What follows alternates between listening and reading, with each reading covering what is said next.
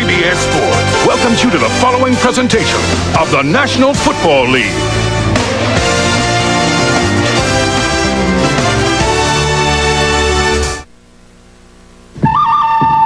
Two of the NFL's young guns, Drew Bledsoe and Steve McNair.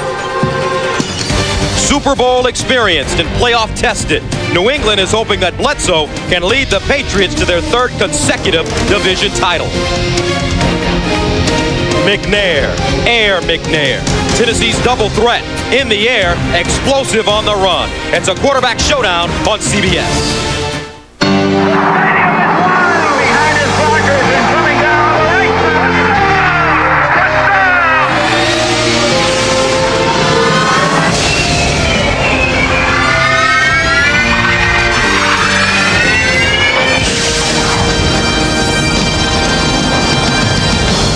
Foxborough Stadium, 30 miles south of downtown Boston, where today the Patriots face the Oilers for the first time since 1993 in front of a sellout crowd. Afternoon, everybody. Gus Johnson along with Steve Tasker. The New England Patriots feel that they have all the tools to not only make it to the Super Bowl, but to win it. And today, they want to send a message to Tennessee. Well, the Patriots acknowledge that they don't see the Oilers very often or the 46 defense that they run. But Drew Bledsoe told us on Friday that they want to create a long-lasting memory in the minds of the Oilers of what it is to play the Patriots. That's a confident statement, and this is a confident bunch. That they have, but they have struggled in the run game. Rookie Robert Edwards has not played well, but head coach Pete Carroll told us he challenged his offensive line to step up and play more physically. He does not want Robert Edwards to blame himself for the lack of a running game. Tennessee, one and one. They struggled last week with their running game as well. Eddie George limited to 15 carries, only 11 yards, and they're looking for balance on offense. Well, the book on the Tennessee Oilers has been that if you take Eddie George away, Steve McNair doesn't have the weapons or the experience to beat you. After four years waiting for four years, head coach Jeff Fisher told us that he has finally gotten Steve McNair some weapons to balance his offense. Yancey Thigpen, Jackie Harris to complement White. Uh, Wycheck at the tight ends, and also the first wide receiver taken in the 98 draft, Kevin Dyson. We'll see his first action as a pro here today. So Tennessee has won the toss. They will receive. We're underway from Foxborough. Mason five yards in his own end zone. Up to the 15 where he's taken down. Rather, he broke the tackle and gets up to the 22. Steve Lofton with the special teams tackle, a return of 24 yards. The quarterback for the Tennessee Oilers, Steve McNair, in his fourth year out of Alcorn State, the third overall pick in the 1995 draft. And according to him, his first year was last year as a starting quarterback. His numbers average, but according to Jeff Fisher, his head coach, he is the most improved player on this team. They want to take, the Patriots want to take Eddie George away right away. They want to see if Steve McNair can prove that he can win a game on his own. They, the Oilers want to run it just as many times as they want to pass it. First down from the 21-yard line. Play action on first down. McNair over the middle, and he finds his tight end. That's Jackie Harris. Offensively for the Tennessee Oilers up front, Bruce Matthews, the left guard. He's been there 16 seasons and is headed for the Hall of Fame along with Hopkins, Long, Lehman, and Runyan. And the backs and receivers, Yancey Thigpen, two-time Pro Bowler with Pittsburgh, signs as a free agent here with Tennessee. He's the big play receiver. Second down and seven from the 24. Eddie George loses his footing. Chad Eaton there to stop him.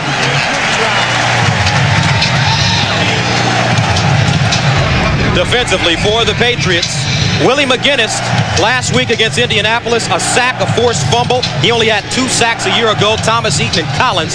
The linebackers, very strong group. Chris Slade, Pro Bowler a season ago, had nine sacks. Ted Johnson in the middle and Todd Collins. And in the secondary, Ty Law, Chris Canty on the corners, along with Lawyer Milloy and Willie Clay. Third down and six from the 25-yard line. Yancey Thigpen in motion. Short drop, McNair underneath, and it's caught. Willie Anderson with the catch. Ty Law standing right on it. This Patriot defense really prides itself, and we're kind of disappointed in themselves. Last week against the Colts, played extremely well, but they were disappointed that late in the game they gave up yards, even though it was garbage time. This is a pride-filled bunch, and they want to play well all four quarters. So the Oilers come into this game one and one on the season. They beat Cincinnati in their opener on the road 23-14, short of the first down. Lost to San Diego last week 13 to 7, and they come up empty on their first possession. There's their head coach, Jeff Fisher, replaced Jack Pardee in 94. He's 40 years old, and when we talked to him yesterday, he's a confident guy. He really is. He has a lot of confidence in the players that he has in place. This this is a, a team that has been through a lot in the last three years, changing changing cities, changing home venues. It's really as though they've been playing road games for almost two solid years. So Craig Hentrich back to punt, standing at his own 15-yard line, and Troy Brown ready to receive. He's at the 25. From the 25-yard line, Brown, and he's chopped down. Leroy Jones with the tackle, 46-yard punt, and a two-yard return. The starting quarterback for New England, Drew Bledsoe, 46 and 37 as a starter, three-time Pro Bowler. And here's a guy, he's got all the tools to be one of the great ones by the time he finishes playing this game. And all the rhetoric coming out here is they know they're a good football team. They have to play for play like that. This is a team that historically has not lost to teams that, that you feel like they should beat. There's not too many that they don't feel like they should beat, but they play exactly the level they should every week. From the 26, Bledsoe passing off first down, and he goes down. Lonnie Marts with the sack, ninth year out of Tulane. His first seven seasons he spent with Kansas City and Tampa Bay. The defense that the Oilers run is, is designed to bring pressure. You won't find a guy on this te team that has way more sacks than everybody else. You'll have four or five guys that have a lot of sacks, a lot about the same amount of sacks. They get a lot of sacks from a lot of different people because their defense is so complex. Loss of six yards, second down and 16 from the 20. Out of the I formation, Robert Edwards, the deep back. Bledsoe passing again out of the backfield. It's Tony Carter, and he is ridden out of bounds by Denard Walker, the second-year man out of LSU.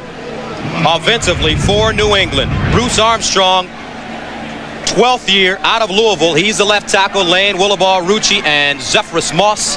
The backs and receivers. Ben Coates returns. He missed the first game of his eight-year career last week because of an ankle injury. Terry Glenn, Shawn Jefferson are the wide receivers. And Robert Edwards, the rookie out of Georgia, he's the starting tailback.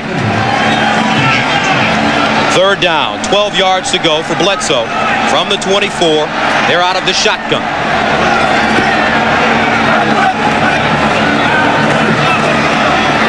Plenty of time. Bledsoe out of the backfield. And Drew Bledsoe connects up to the 27-yard line. Derrick Cullors running the football for New England. And they are short of the first down and will send it away. Exactly the way that Oilers wanted to play this game defensively. If Drew Bledsoe does not get that ball out there on time, they want to get in his face. That was a deep time, deep route that Drew Bledsoe had to hang on to the ball for a long time, and the, and the def defense was able to make them throw the short pass and make the tackle. Tom Tupa punting. Derrick Mason drifts to his 18. Mason up to the 30, and Derrick Mason up to the 33-yard line, where he is stopped by Marty Moore. 11.22 to go, rather 13.01 to go in the first quarter. Back in a moment. 11 minutes and 22 seconds remaining in the first quarter of play. Tennessee, New England, scoreless here in Foxborough. Last time these two teams met, 1993. The Patriots lead the series 17-15 and 1. Oilers winning the last game. McNair passing on first down and out of the backfield. It's Frank Wycheck with the reception, and he's stopped by Ted Johnson, the middle linebacker in his fourth year out of Colorado. Head coach for New England, Pete Carroll, in his second year, was the defensive coordinator prior to coming to New England with the 49ers. Also was a head coach with the Jets in 94 for one season. Second down and nine from the 34-yard line. Eddie George, the lone setback. And George over the left side. Eddie George picks up a few.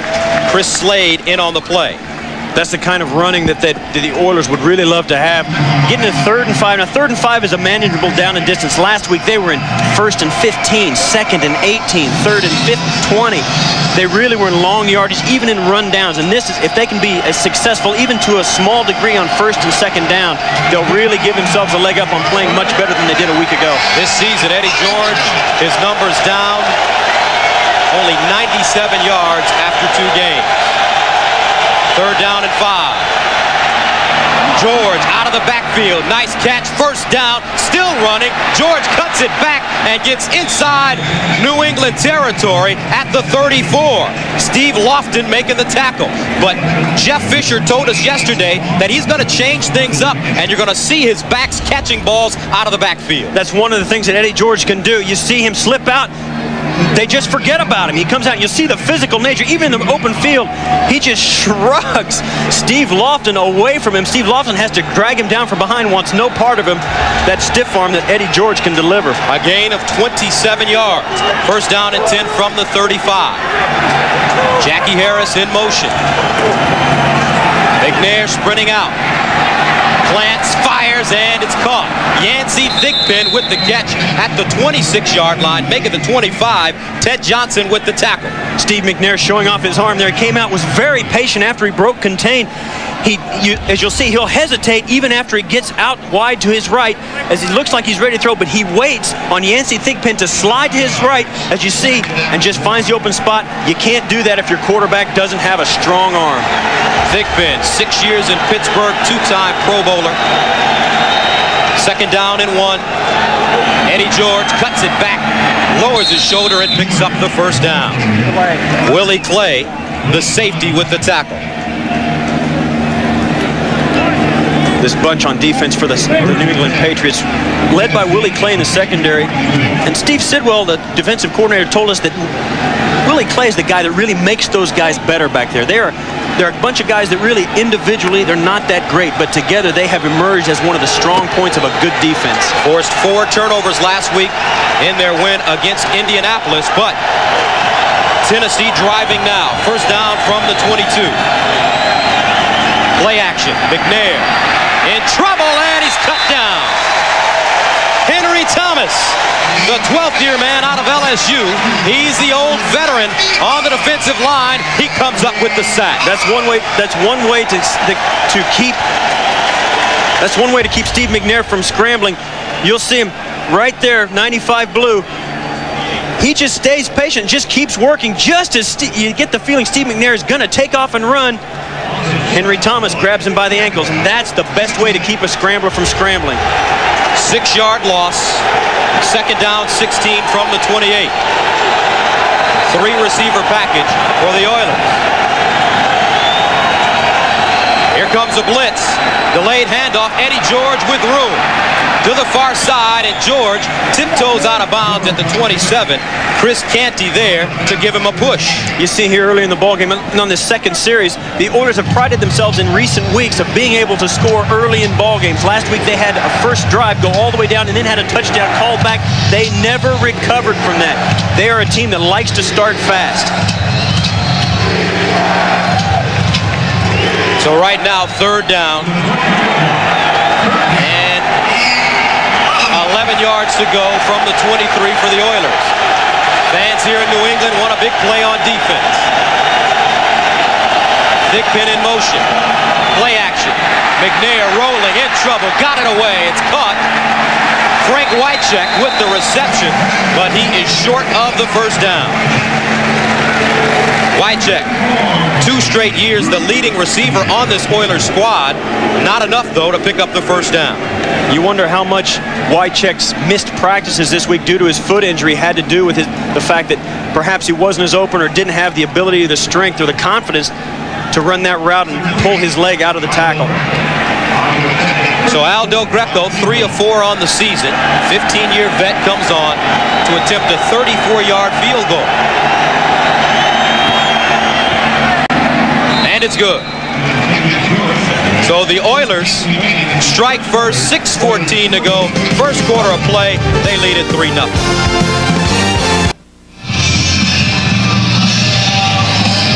3 to nothing. Tennessee leads New England. Bruce Matthews the 16-year veteran, getting his helmet worked on on the sidelines for Tennessee. The scoring drive for the Oilers, nine plays, 51 yards. Short kick fielded at the 20-yard line. And the Patriots will get pretty good field, goal, field position as they start from their own 35. 6.06 to go in the first quarter. Drew Bledsoe and company on offense after this.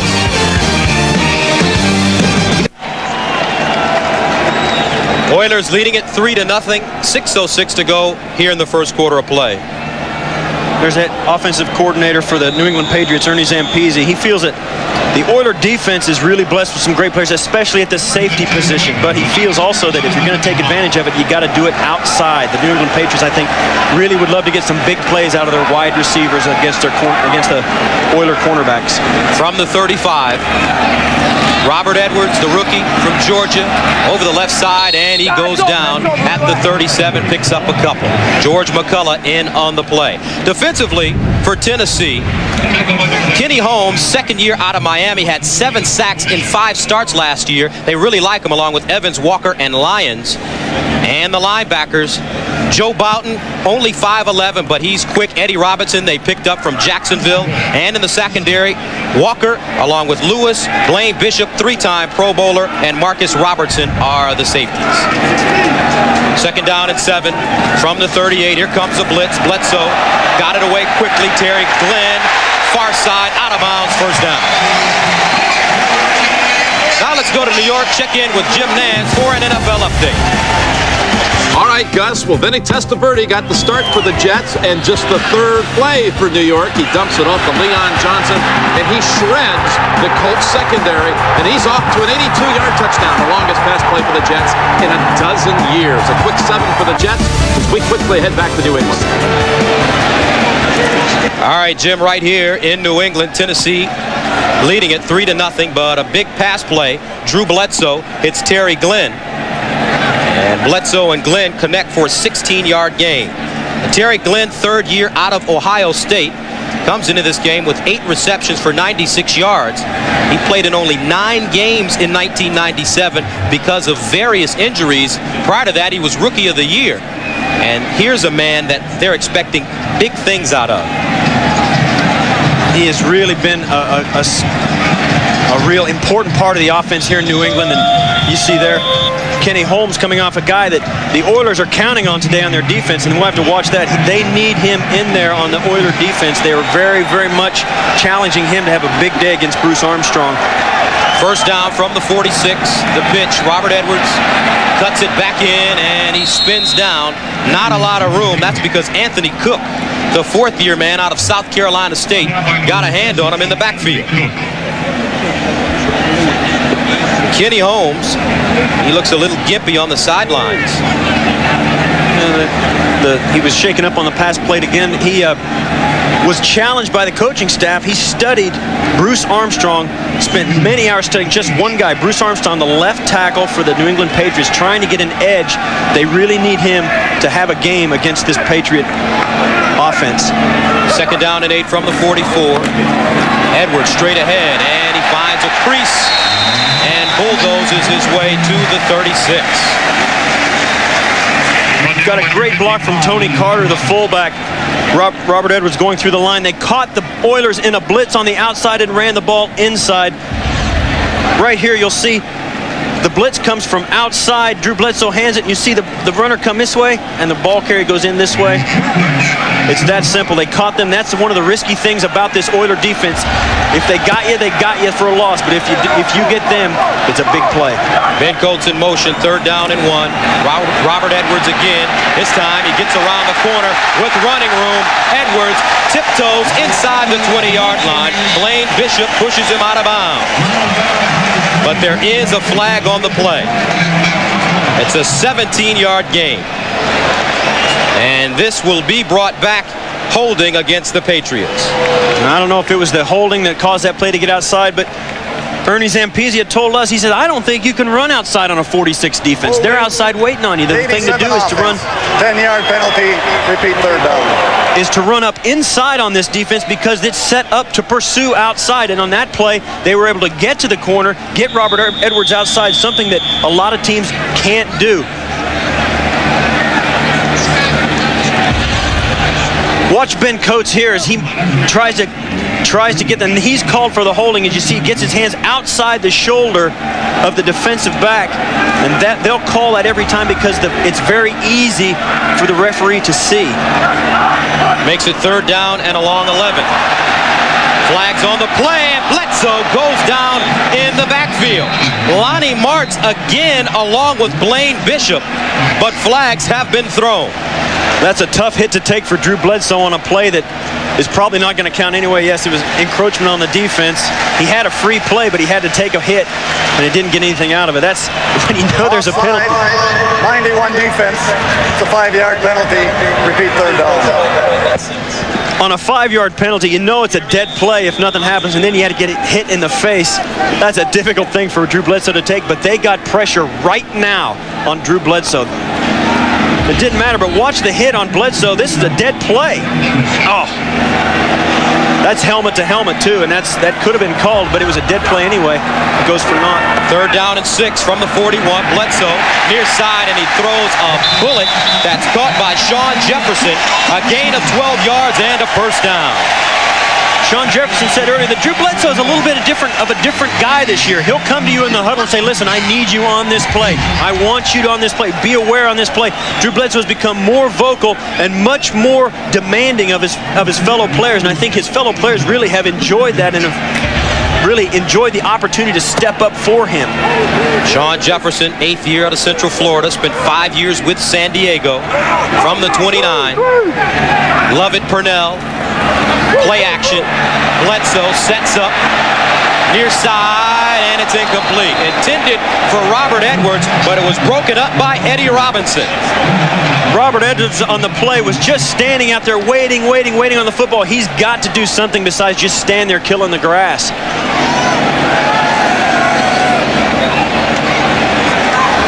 CBS Premiere Week kicks off tomorrow with an all-new Monday.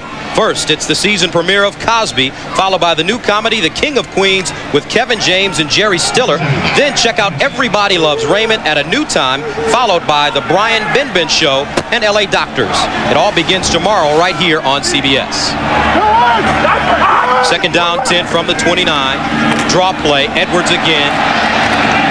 And he runs through the hole and gets to the 25 where Lonnie Marts stops him. Robert Edwards, the rookie from Georgia, when he was recruited to Georgia, he was recruited as a defensive back and spent his first two years as a defensive back, then made the transition to tailback and ended up being a first round draft pick. The real question was he had a few injuries in college and they questioned his durability, but really they were, the Patriots took a chance on him and they are very happy with his abilities right now. Four carries, 15 yards for Edwards. Drew Bledsoe, and it's incomplete. Ball intended for Terry Glenn. Fans want it. Pass interference, but they do not get it. Darrell Lewis covering for the Oilers. Darrell Lewis knew and really anticipated being thrown at quite a bit today. You'll see Terry Glenn come out on number 29. Darrell Lewis just stops, and the fans thought this was interference, and it may well have been. Bledsoe's very upset about it. You don't see Drew Bledsoe get upset very often. He's a quiet guy, and that's why it was so surprising that he's starting to become more vocal, but he was vocal on that play. Adam Vinatieri, three of six on the season, in to attempt a 43-yarder. And it's up and good. 113 to go first quarter. We're tied at three.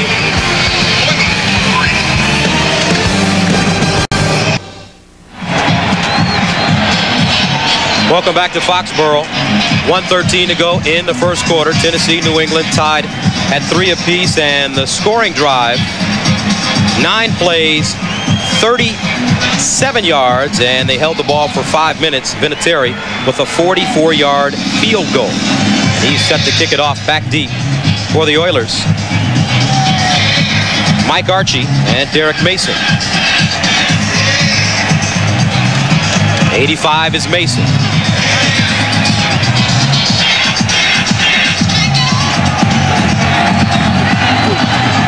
So Derrick Mason at his own goal line. Loses his footing. Mason tries to get outside, but he's wrapped up. Troy Brown playing special teams. He's also the third receiver with the tackle flag on the play. It was an 18-yard run. This is going to put the Oilers way back deep in their own end to begin this drive. It's not something they want to do. They really struggled with penalties a week ago. And a holding call against Tennessee.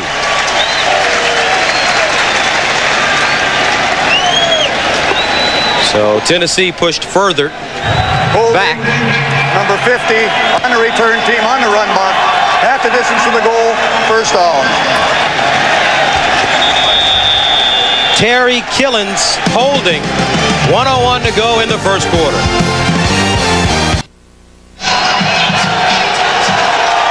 One oh one to go in the first quarter.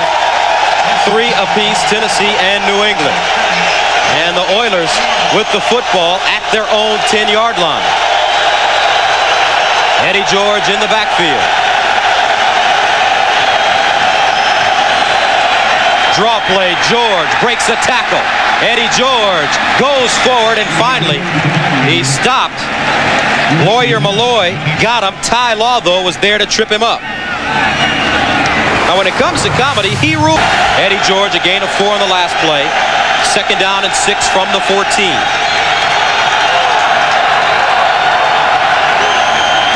George again, following his blocks, but nowhere to go. Eddie George tackled from behind. Todd Collins, the sixth-year man out of Carson Newman, with the tackle. He started all 17 games a season ago for this Patriot squad, and that is the end of the first quarter of play. Tennessee, New England tied at three. We begin the second quarter. Oilers, Patriots tied at three apiece. Gus Johnson along with Steve Tasker. And yesterday when we talked to Jeff Fisher, he wants balance from his Oilers team. And right now the Oilers have six runs, seven passes. Even though they're deep in their own end, if they can keep doing that, they feel that their offense is going to be successful in four quarters. Third down and seven from the 13. Mason in motion. Steve McNair steps up in trouble. McNair still on his feet, gets outside, he has running room. A first down. McNair scampers out of bounds at the 35, but a flag has been thrown. A 20-yard gain. And it's against Tennessee. Illegal hands to the face. Usually you see that on the defensive lineman going to the hands of the face of the offensive lineman. What happened was one of the defensive linemen fired off and the hands get up inside the face mask. It's very difficult to control that. Illegal use of hands. Number 72 offense. Hands to the face. Half the distance to the goal. Still third down. That's Brad Hopkins, the left tackle. Thought to be by the Oilers. They think he's one of the best left tackles in the league, and that's why you'll see it right here working against Thomas. Against Henry. That's Willie McGinest he's working against, and you'll see you know, looks like everybody's trading hands to the face there. Penalties, a big concern for the Oilers. 20 penalties, 163 yards. McNair passing in the end zone. Finds Eddie George out of the backfield, and George up to the 20, make it the 22, and Eddie George, power running, picks up the first down. Huge conversion by the Oilers coming out of their own end on a third and 13 coming out here, and you'll never find a more crucial down this early in the football game. Steve McNair, this is two great players making great plays. Steve McNair buys himself time and finds Eddie George, who slipped around who slipped around Henry Thomas, their number 95, who ended up tackling him. That's two great got two great players making plays for their teams. That's what makes an offense click. Eddie George having a big receiving day so far. McNair, plenty of time to throw underneath, and it's caught. Caught by his tight end, Michael Roan. He's a backup. One of the things that Steve McNair gives you as a quarterback. He never never tries to do too much. And he told us yesterday, he goes, you know, I'm trying to let the game come to me now. I, am not trying to do over overextend myself. He knows I've got great players around him, and he just lets the game come to him. Steve McNair, 20 of 34 last week against San Diego, 193 yards, a touchdown, no interceptions. Second down and six from the 26. Roan in motion. This time, it's Rodney Thomas running, and he scatters up to the 30-yard line, about two yards shy of the first down.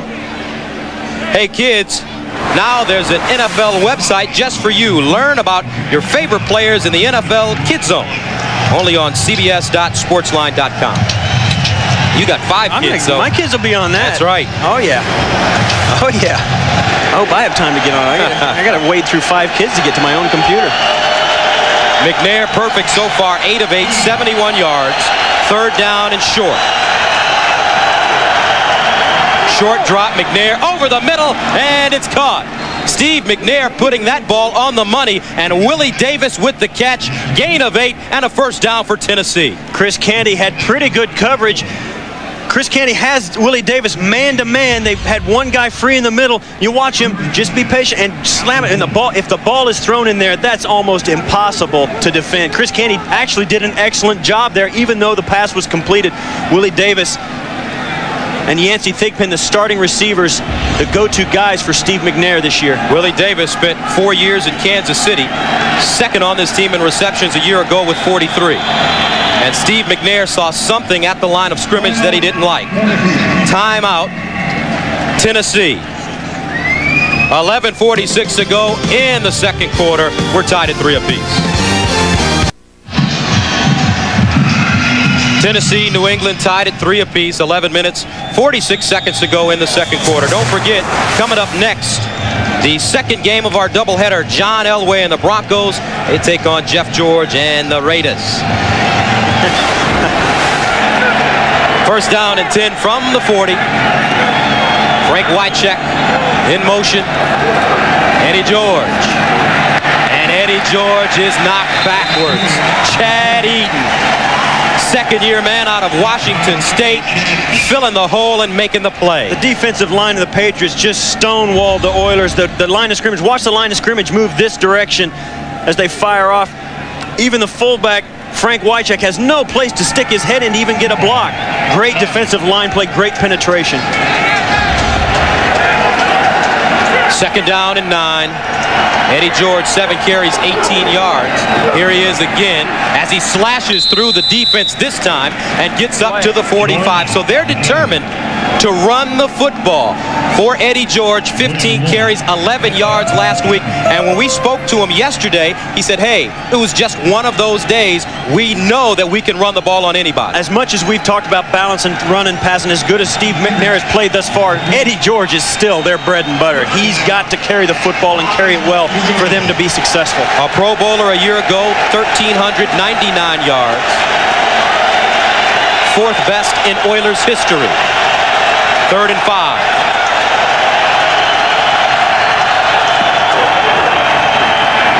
McNair firing again, and it's caught.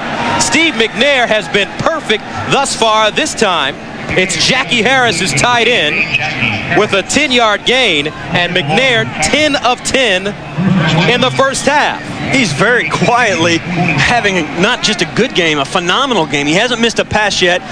Most of these passes he's throwing, you'll see here, are just 8 to 10 yards down the field. He's got the accurate arm as well as a strong arm to get it in there in between the defenders, and they are having a field day against the secondary. Jackie Harris, the former Packer and Buccaneer, signed as a free agent, first down from the 45. McNair, far side, and it's broken up at the last moment. Good looking defensive play. Willie Davis, the intended receiver. Chris Canty covering. I've played on this field before. When you throw towards the Patriots sideline in the first half, you have to fight the sun. And we, sitting up here in our booth, you can even look. Sometimes it's even hard to see the Oiler numbers on those white jerseys. And I think when when Willie Davis turned around to pick that up, I think it took him a fraction of a second longer to pick that ball up out of the sky. The first incompletion for Steve McNair of the afternoon. He's 10 of 11. Now out of the shotgun, second down and 10. McNair steps up in the pocket, breaks a tackle, and it's incomplete. Intended for Willie Davis once again, and he's underthrown. And there you see the pressure by Willie McGinest and the strength of Steve McNair to just shrug the pressure off, step up, got a little bit panicked in the pocket and couldn't make an accurate throw, was trying to get rid of it to just avoid the sack. Really looked like he should have taken off and run with that, trying to play a little bit too much perhaps within himself and not make that happen. Now they've got a third and 10 that they've got to convert. And his numbers thus far, 10 of 12. 12th play of the drive that started at the 10-yard line for the Oilers. Third down and 10. McNair. And it's incomplete. A lot of backside pressure on Steve McNair. Larry Whigham, backup quarterback, came on the blitz. Now, next Saturday at noon Eastern on CBS Sports, it's a NASDAQ college football doubleheader. In the first game, Heisman hopeful Cade McNown leads UCLA against the Miami Hurricanes. And in the nightcap, Tim Couch challenges Steve Spurrier's attack when the Wildcats tangle with the Gators. You wonder which of those guys we may be doing a game for here in the NFL, those quarterbacks there. That's a good pair of quarterbacks you can watch. High spiraling kick. And it goes into the end zone. 45-yard punt for Craig Hentrich. Nine minutes and 25 seconds remaining in the second quarter of play. We're still tied at three.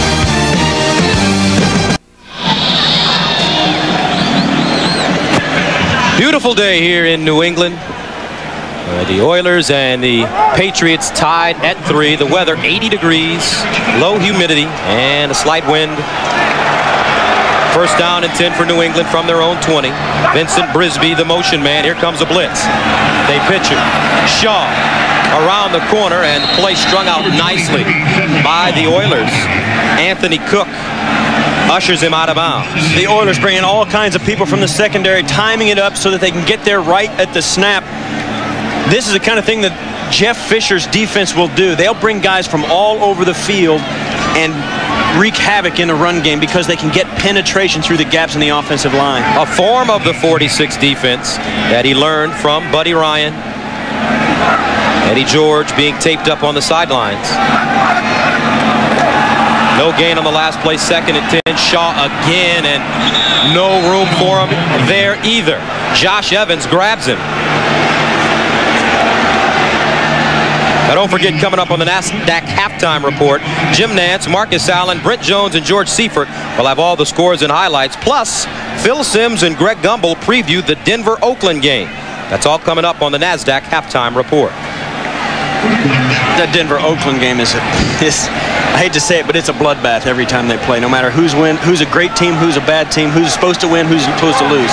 That thing is a is a really bad game. Third down and nine from the 21, over the middle, and Drew Bledsoe skips it to Vincent Brisby. And the fans here in New England getting a little upset with some of the play calling. Bledsoe, 4 of 7, 36 yards. You rarely see that from, you rarely see this from Drew Bledsoe. No pressure, just throws it out there and just one hops it. I mean, that's just a, that's just a short throw. Yeah, and that's, you know, if you're a short, if you're a shortstop, you can still throw the guy out at first. But if you're a receiver, you, you walk to the side. That doesn't count. Tom Tupa standing at his own six. Derrick Mason back deep, low wobbly kick. Mason up to the 40. And Mason up to the 47, making the 48-yard line before being dragged down. 8.03 to go in the second quarter, three apiece. Couple of field goals, all the scoring so far here in New England, and the game summary. Five first downs for the Oilers. That's because Steve McNair has been very precise in the passing game. And the rushing, neither team doing exceptionally well. First down from the 47. Play action for McNair. Looking, plenty of time. Far side, nice catch. Yancey Thigpen stretches out, makes the grab, and he picks up close to eight yards. Working against Ty Law. Working against Ty Law. Ty Law really wanted and begged for the chance to play against the best receiver of the opponents had to offer every week. Last week he came up with two interceptions. This week, working against Yancey Thigpen, who in this case has had success against him. Ty Law is the best cornerback that the Patriots have. Eddie George plowing ahead inside the 40-yard line where Greg Spires is there to tackle him. Jeff Fisher said he wants Eddie to run the football a minimum of 25 times. What does that do when a big back like that continues to run the ball all afternoon? Well, it, it frees up all, the whole offense. Now Steve McNair knows that he can drop back and throw because they don't know that he's going to pass. They know that they're committed to the, the Patriots know the Oilers are committed to the run game and have to play it honest. First down from the 39. Frank Wycheck, the motion man. Draw play. George bounces it outside, now turns it up and gets to the 37. Now let's go to New York. Jim Nantz for an NFL update. All right, Gus and Steve, we're seeing a different San Diego team than the one the Oilers saw last week. Rich Gannon of the Chiefs back on his feet. He'll sling it sidearm. Andre Rison with the touchdown. 16-0 KC in the second. Let's go back to you. All right, Jim, Spider-Man Rison. That's what they call him in Kansas City. Kansas City is no fun to play there. It is no fun. Matter of fact, we talked to Drew Bledsoe yesterday. He said Ryan called him from the hospital, and he may have come down with a case of the Kansas City Chiefs.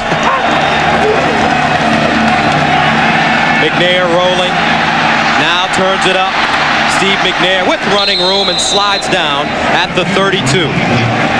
And that's what Steve McNair can do for you. It's just now, it's not a bad play. It didn't come out to be a pass completion, but it's a plus three yard gain. Now it's three it's third and three. Watch Lawyer Milloy come in late on this play as Steve McNair finally tucks it and runs. Lawyer Milloy is the guy that comes in and really wants to oh a swing and a miss. Lawyer Milloy is physical safety, and those guys, if there's one thing they want to do as safeties, they want to send a message, and it's of the physical type in nature. Steve McNair, some call him a fullback that can throw. Fourth down, seven yards to go. Rather, fourth down underneath, and it's caught. And a first down, make that third down, excuse me. The Oilers, four for seven on third down conversions. Very close to a first down. They're going to measure. It's going to depend on the spot, but it looks as though he got it with the last final stretch of the football. Steve Fisher really disappointed that his team, after being through so much, playing so many road, road after so many road games, this team has really come together, and this is the kind of place where his team really plays well on the road because of so many obstacles and things. And I called him the wrong. I Jeff think, uh, Fisher, yeah, I think you're a- you know, I would never have, I would never have done that had he not told me not to yesterday. I would never. He have- said, don't call me Steve Fisher. it would never have happened had he not said. I was so mad when it happened, and uh, that it happened to him before. So he said, told us not to do it, and there I did. First down and 10 from the 29-yard line. Steve McNair, McNair, 12 of 15, 103 yards. Eddie George straight ahead, and he gets to the 25.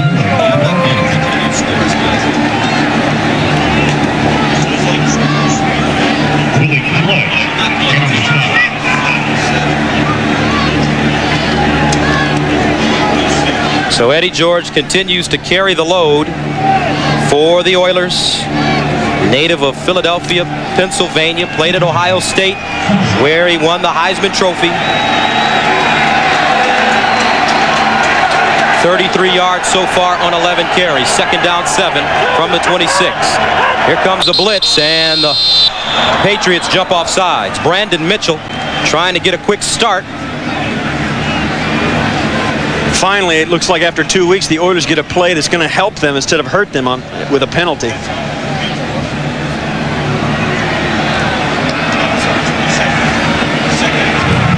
So they march it five yards down. 98 defense.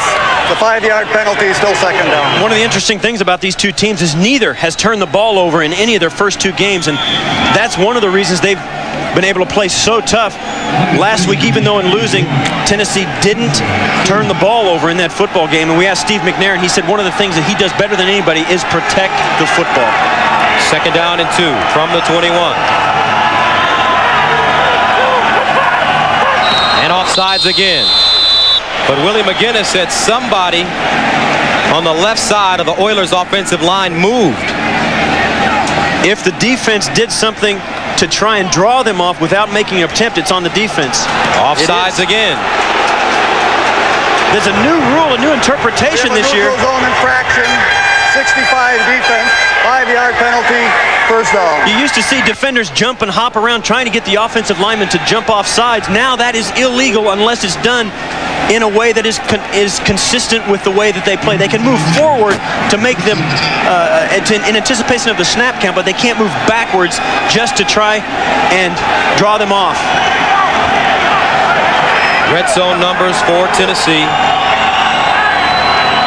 Inside the 20-yard line.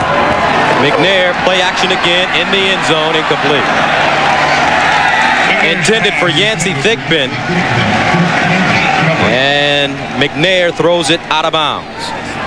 Strap yourself in. The new season, second down 10 for Tennessee at the New England 16-yard line. Eddie George. And George gets inside the 15. Todd Collins wraps him up.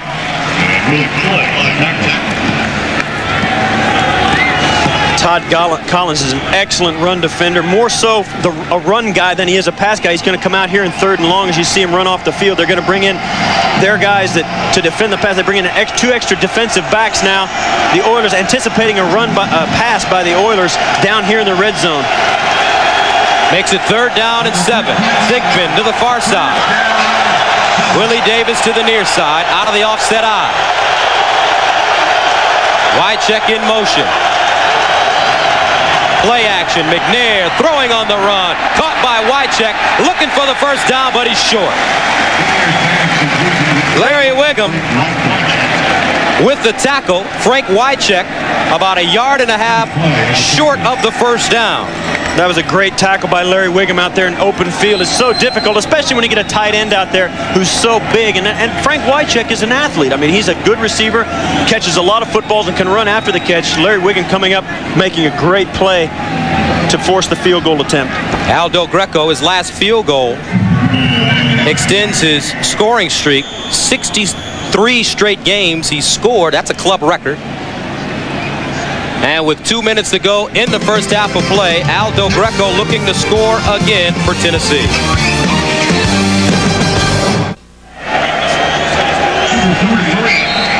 Welcome back to New England. Al Del Greco in to attempt a 26-yard field goal. Craig Hentrich is his holder. And it's good. 26-yarder good for Del Greco.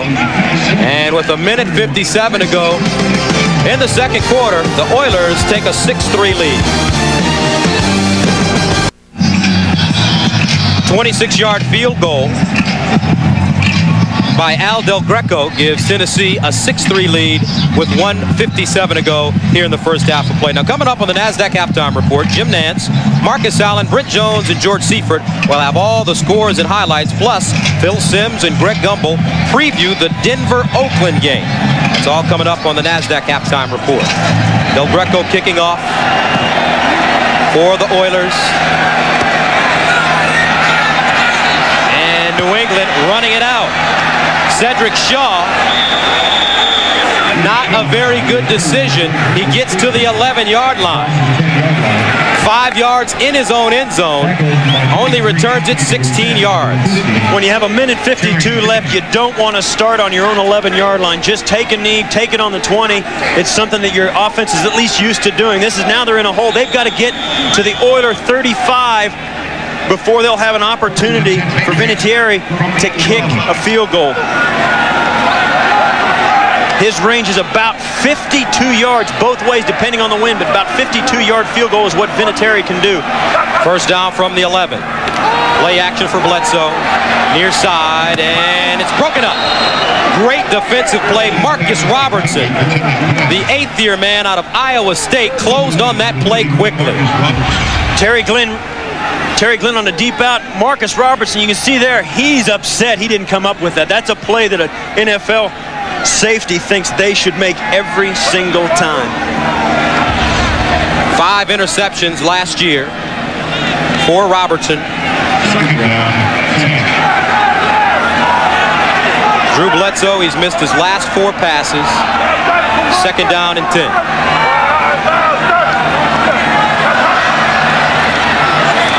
Bledsoe throwing on the run. It's caught. Troy Brown with the catch at the 17. Tackled by Eddie Robinson. And the no-huddle offense now being used by New England. Now they're still huddling up. They're not going to take a timeout. They've got all three of their timeouts left and only a minute 25 left. You would think that they'd be hurrying up a little more or using a timeout to get down in the field. You don't want to go to halftime with a timeout in your pocket. Troy Brown lines up in the slot on the far side. Here comes a blitz. Bledsoe, far side, caught. Troy Brown gets all the way up to the 35. But he didn't get out of bounds. Samari Rolle with the tackle. And Drew Bledsoe takes the quick time out there. They're going to talk things over with one minute to go. Out to the 33-yard line. Still about 35 yards from where they need to be. Gain of 15. Crucial that the receivers for the Pat Patriots try and get out of bounds. The Oilers know this. And you see Samari Rolle trying to get. Uh, did he get out of bounds? Yes, he did. And he said he didn't. He, he looked and see if he got out of bounds, and when he knew he didn't, he called that quick timeout. And a lot of times he'll run instead of running down after the receiver, he'll stand next to the referee to make sure that the referee knows his wishes and gets the timeout as quickly as he can. So the ball spotted on the 34. Bledsoe 6 of 10, 59 yards. First down with 104 to go in the half. That's Kenny Holmes back in the lineup after going out early in the first quarter with a leg injury. Bledsoe under pressure, and Bledsoe sacked in the backfield. Steve Jackson got to him first. Kenny Holmes cleaned him up. The Oilers had six defensive backs in the game looking like they were going to back off and play play a soft zone. They brought the blitz, and Steve Jackson came off the corner. The pocket collapsed, and Drew Bledsoe had no chance to make anything happen other than to just protect the football. Clock still running, 48 and counting. Loss of four, third down, second down 14. And it's incomplete. More pressure on Bledsoe. Once again, Pratt Lyons in there grabbing him around the ankles. Had no chance of get any, getting anything on that throw.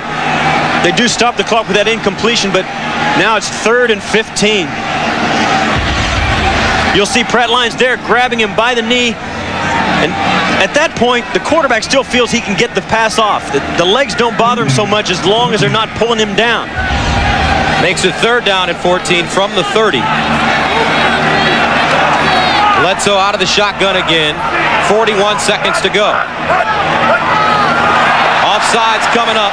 Free play for New England. Bledsoe fires down the field. Picked off. But this comes back. That's a squasher. Trying, trying to hit John Jeff, Shawn Jefferson. That's a squasher because that's really a play that Drew Bledsoe threw. They had a free play. The defense was knew that Offside, it was 99 defense. The five-yard penalty, still third down. no matter what good thing happened for the defense on that play, they couldn't win. It was a squasher. And then they have to come back. That was an interception. The half would have been over. In fact, the Oilers would have had an opportunity to come down and try another field goal with 34 seconds left and two timeouts. But now they go back and they do it again, third and 10. From the 35. 34 seconds to go. And offsides again. Kenny Holmes, the second year man from Miami. Let me tell you, Gus, that is so frustrating as a team standing on the sidelines watching your defense trying to close out a half to see them make mistakes like that. Offside, defense unabated towards the quarterback. That's a five-yard penalty. Still third down.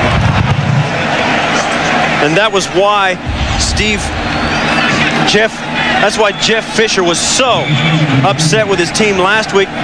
That's just lack of discipline, lack of concentration. Where, where are their minds when they know that it's third and 10 and all they have to do is close them out for one more play? Fifth penalty for the Oilers, 30 yards. And penalties have been a big concern for Coach Fisher this season. One of the main reasons Jeff Fisher and his team did not win last week was because of their propensity for penalties. Third down and four. Four receivers in. Bledsoe firing, caught by Jefferson at the 40. Samari Rolle with the tackle, but it's a gain of 20 yards for the Patriots and a first down with 28 seconds to go. And Kenny Holmes, the offsides penalty really hurt him. Kenny Holmes, the guy that they wanted to have a great game against the offensive lineman, Bruce Armstrong, killed him on this drive, along with, along with the other the other guys that had the offside penalties as well, two in a row. And you'll see letting Shawn Jefferson run down the field, find the open area, just turns up. Drew Bledsoe just hits him in the open area. They're five yards away from being in Vinatieri's range for a field goal. Plenty of, now with 28 seconds left, that, that's plenty of time with a timeout left to make the five yards, give yourselves a chance. Now, it may be, if they feel confident in one of their play selections, to go deep for the end zone to try and give them a chance to get seven. First down 10 from the 40-yard line. For the Patriots.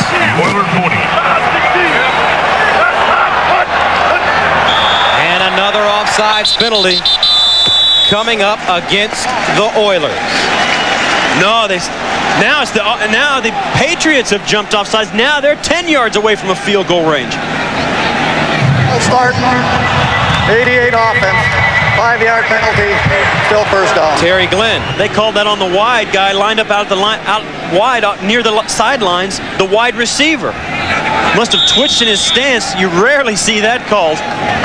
Wide receivers can't hear the snap count anyway, and to see that they jumped offside trying to anticipate it, that that's a mistake. And Pete Carroll is not happy. Doesn't believe it. He's standing over there watching it too.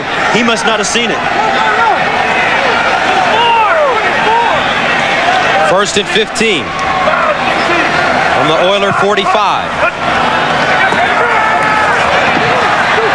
Bledsoe towards the end zone. And it's incomplete. Intended for Terry Glenn. No flags on the play. Just as we said a moment ago, and now's the time maybe take a shot at the end zone. Try and get a touchdown instead of just settling for the field goal. They've got plenty of time. They, yeah, this would not have counted anyways. You'll watch here. He'll run. He'll go out of bounds up in this area. And once he does that, he cannot come back in bounds and catch that pass. The crowd was screaming because they thought he was pushed out of bounds, which, which would be illegal contact. But no call, and it was a good no call. 22 seconds remaining in the first half. Second down, 15. Bledsoe. And he threw a missile. Now Vincent Brisby with the catch inside the 25-yard line. Now they take the final timeout, 15 seconds left. Now comes a decision. Do you take the final throw at the end zone? You got a first down. If it's incomplete, you still have plenty of time to kick the field goal. If it is complete, you got the touchdown, and perhaps if it's a quick throw, you've got time enough to spike the football and still give your chance, team a chance to kick the field goal if it's short of the touchdown. Steve Jackson Steve Jackson of the Oilers will come over and almost intercept this ball. You'll see right here as he reads the route just over his fingertips. That's a game of inches, and he Drew Bledsoe threw that ball where only Vincent Brisby could catch it. Steve Jackson, eighth year out of Purdue. Now the Patriots after the 21 gain, one yard gain from the 24. Bledsoe looking in the end zone for Brisby, and it's incomplete. Ball overthrown. But with 11 seconds to go, do they have time for one more play? Well, they took five seconds on that play with 11 seconds left. Why not? Why not? You're only down by three with an offense that's one of the best in the AFC. Why not take a shot at the end zone? Take a chance that you're going to have the shot. It's a 30, a 41 yard attempt, 42 yard attempt if they do it from right here. Take another shot at the end zone. There's nothing. You have plenty of time to get that clock stopped, if, even if you complete it. So Terry Glenn and Troy Brown to the far side. Jefferson to the near side. Ben Coates lines up as the tight end on the near side as well. Bledsoe in the end zone. This one sails out of bounds. So here comes Adam Vinatieri with five seconds to go, ready to attempt his second field goal of the game. And we said they'd try for 10. That was a half-hearted attempt at a touchdown. Drew Bledsoe knew if it came open, he was going to gun it in there. But if he was covered as he was, he just threw the ball out of the end zone and said, okay, we'll take the three. So Vinatieri ready for a 42-yard attempt.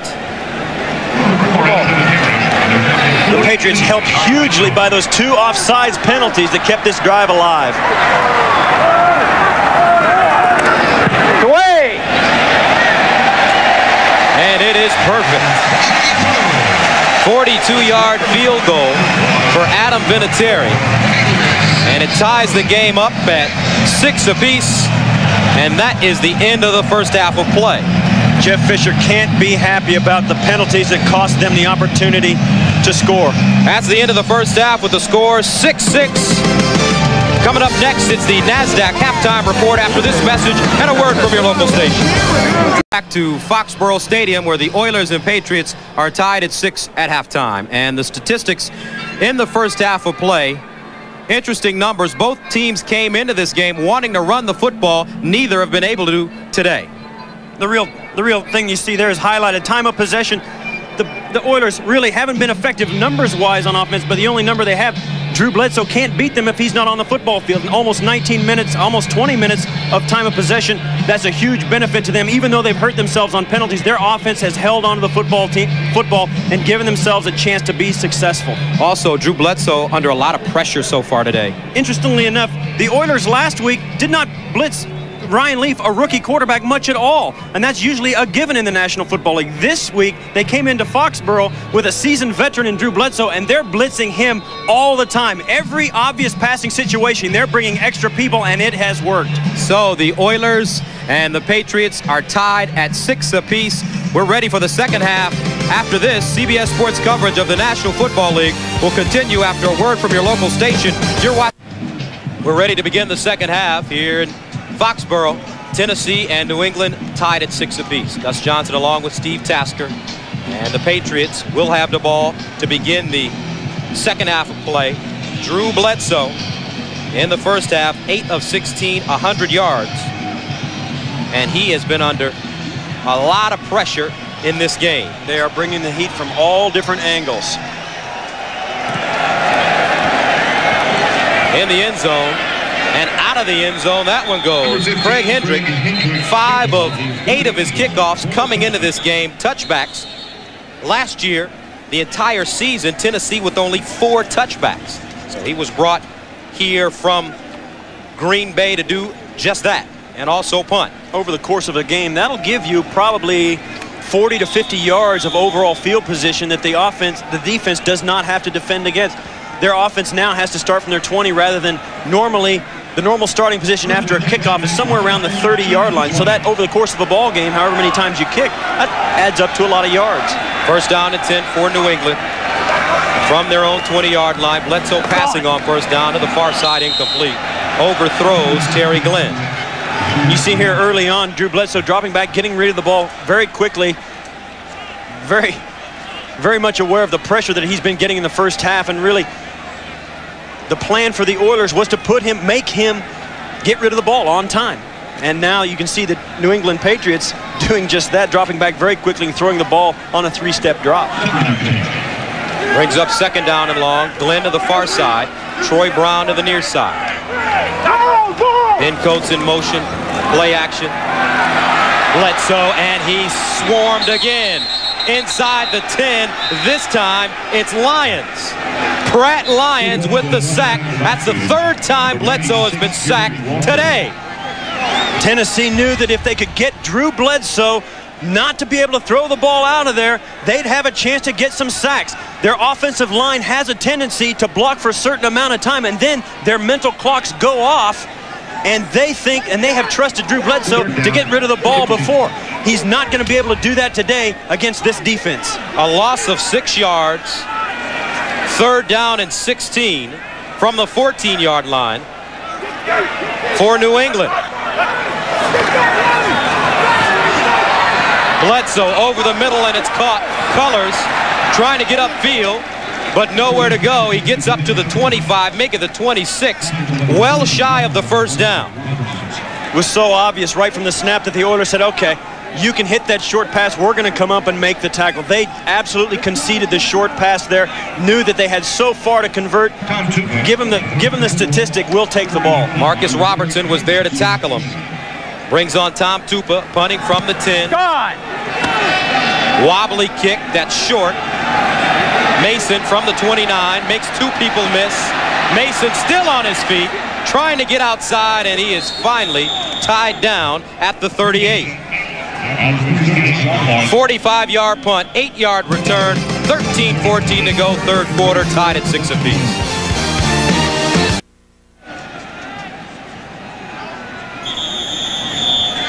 New England, Tennessee tied at 6 here in the third quarter of play. Oilers with the football at their own 38, first down. Eddie George, the lone setback. Here's George trying to go outside, kept his balance. Eddie George down the sidelines and is pushed out of bounds at the 39. He broke the tackle of Ty Law at the line of scrimmage, and you see just barely keeping his balance. That's what a great back does. He's so big and so physical, it takes more pressure than usual to bring a guy down. He's got huge legs. Ty Law tripping him up. Another great play by Eddie George, keeping this offense on the, right on schedule. Lawyer Milloy pushes him out of bounds, but look at the great balance by Eddie George.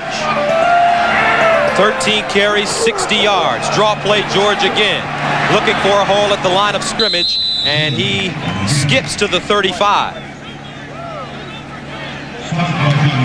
Now check out the official NFL website for live play-by-play -play and statistics from every game. Plus, log on Monday morning for week three highlights and recaps on www.nfl.com.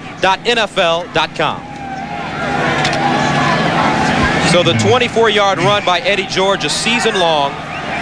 Oilers driving again.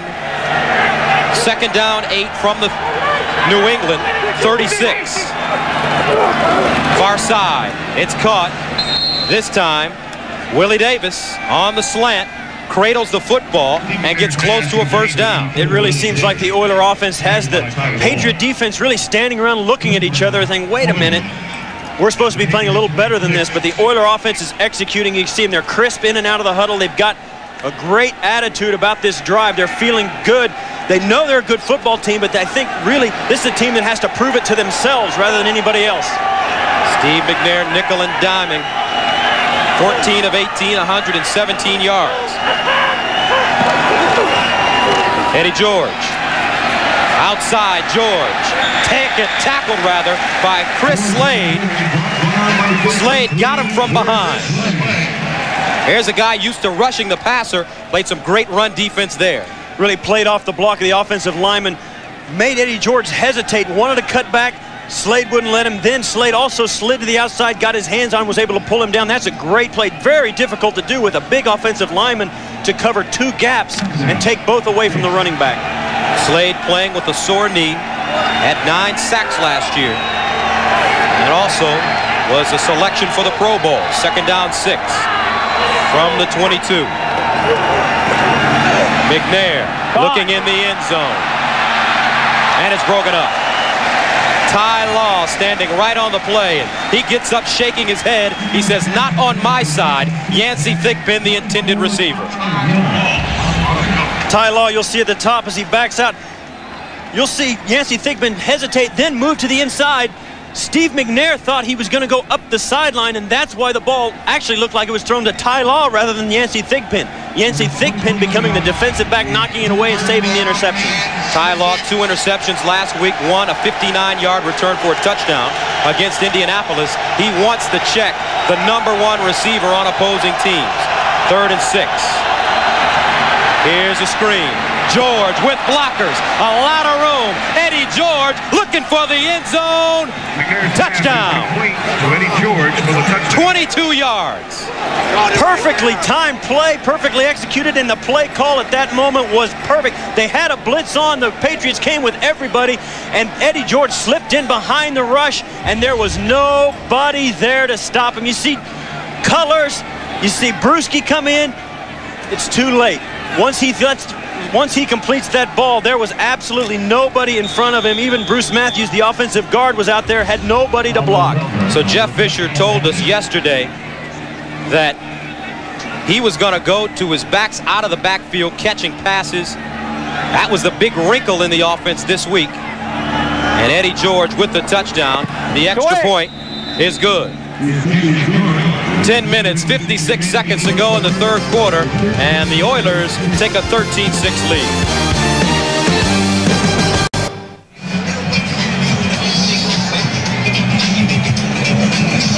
13-6, Tennessee leads New England. Eddie George, second touchdown reception of his career. And the scoring drive, six plays, 62 yards. Into the end zone. Cullors brings it out three yards deep. Cullors breaks it outside at the 30. And he goes down at the 37. 41-yard return, but a flag has been thrown.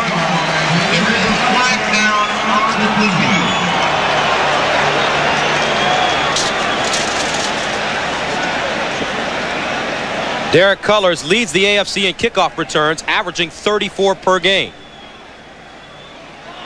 Oh, that's going to hurt. Personal foul, unnecessary roughness, number 23 on the return team on the run back. That's a 15-yard penalty, first down. Here's a look at the touchdown that, to Eddie George just a moment ago. You'll see, you'll see Chris Slade, Whigham, and also Teddy Bruschi all come up, and they'll run right by Eddie George, who'll just slip out, catch the ball. When he turns up the field, there's nobody out here. You see Bruce Matthews running down. Willie Clay's the last guy at the line of scrimmage. He was clearing the end zone. That is no chance. A great, great execution. Perfect timing.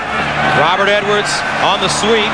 Edwards nowhere to go. Spins out of trouble and is tackled for a big loss inside the 15. Eddie Robinson there to make the stop. And the boos cascade here in Foxborough.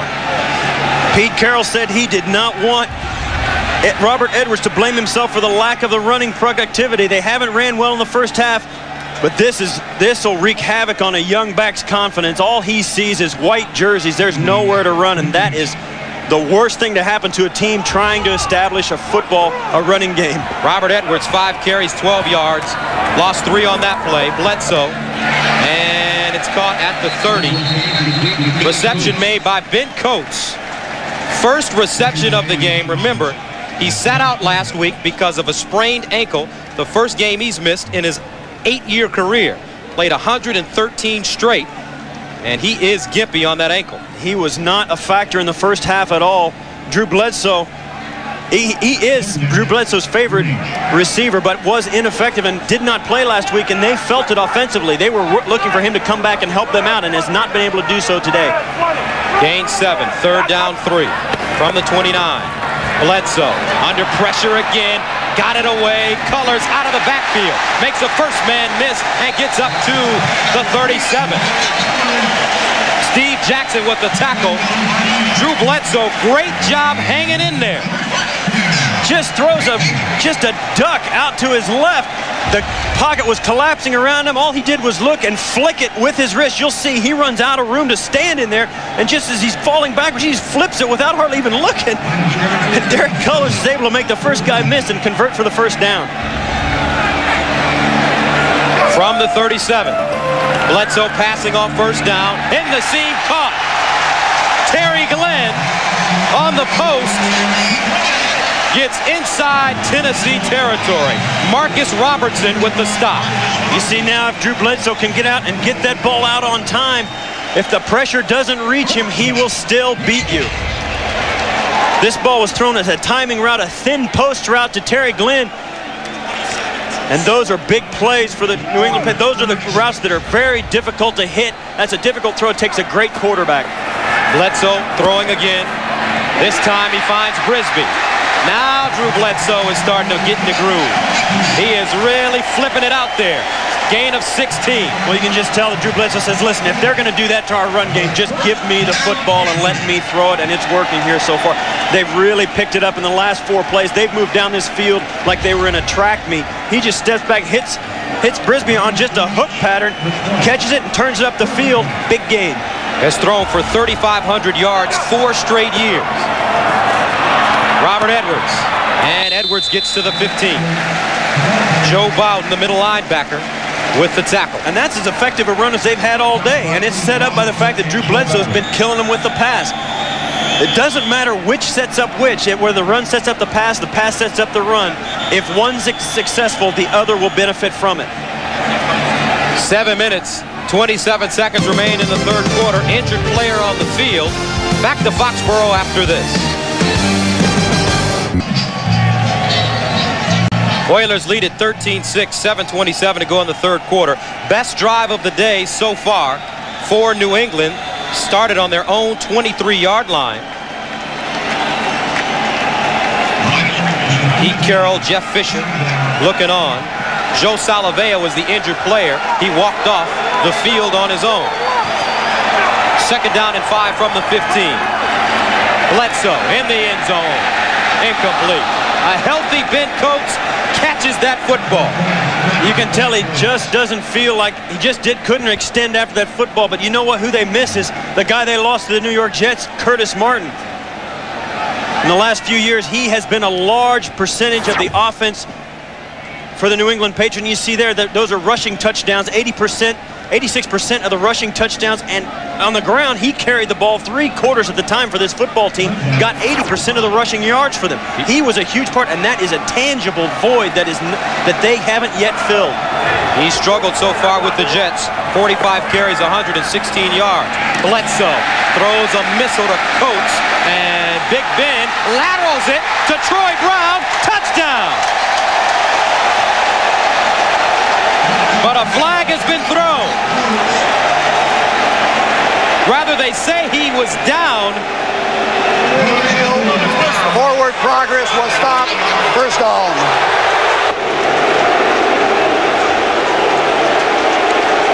If you watch watch Ben Coates, the question is when does his knee hit the ground? And if you watch, he's going to try and get this ball to Troy Brown. When his knee touches, the play's over, it's over, and he's still got the football in there. That's a good play. That's a good call. Excellent call. Watch it. One more look. You'll see, you may not be able to see his, there his knees down. He's still got the football. That's an excellent call by the official. So instead of a touchdown, first down goal to goal from the nine, Robert Edwards, and he is drilled. Josh Evans, fourth year out of UAB, with the mean stick. That was a that was a textbook, you know, textbook tackle. That's those are the kind you read about in the playbook. Robert Edwards comes in, looks like he's got a little daylight, but Josh Evans comes up, fills the hole, bang, and he's a. You don't want to mess with the big defensive lineman. Second down, goal to go. Edwards again, picking his way, touchdown.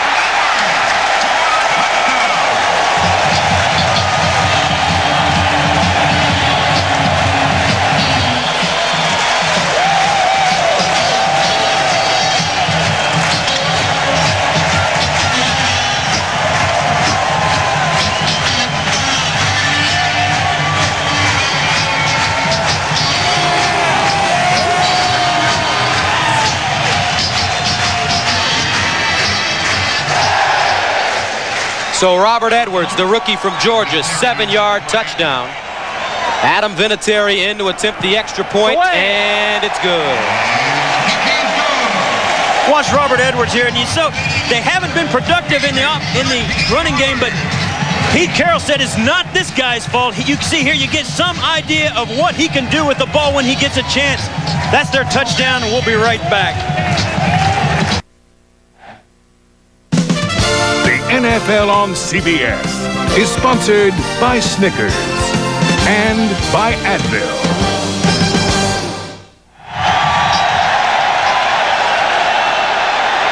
Derrick Mason from his own five-yard line trying to break it outside, and Mason goes down at the 20. At 9, 8 Central. The scoring drive for New England. 10 plays, 77 yards. Robert Edwards, 7-yard touchdown, and they are rocking in Foxborough.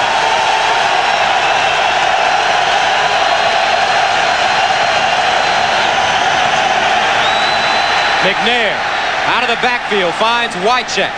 Frank Wycheck, no gain. Ty Law, first contact. Chris Slade also there. When you catch a football in the National Football League, when you turn up the field, the last thing you want to see is two linebackers and a cornerback waiting to tackle you. It looked like for a moment he was going to have a little room and gain a couple of yards, but the defensive speed of Chris Slade, Ted Johnson, and Ty Law stopped that play for no gain. And they are really getting loud in New England. Second and 10.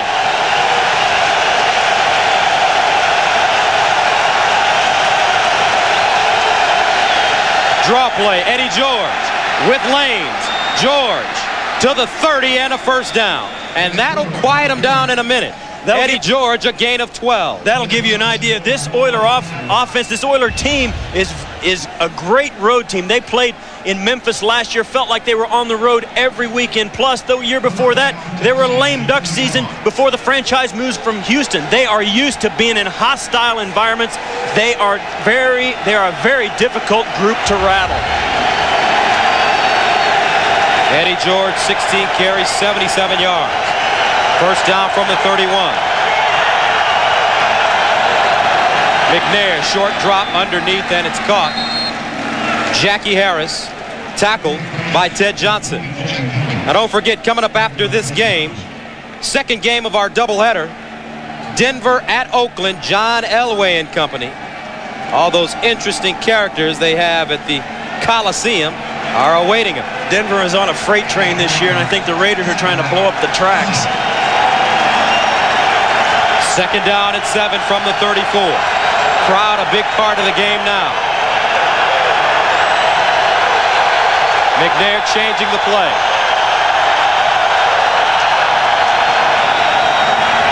Sets up near side Wycheck. Frank Wycheck short of the 40-yard line.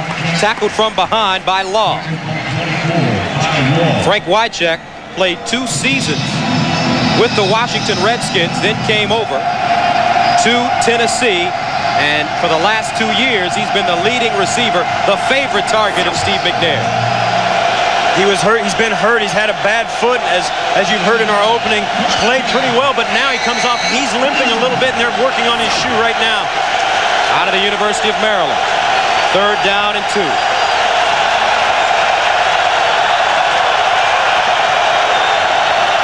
McNair, quick strike. No first down.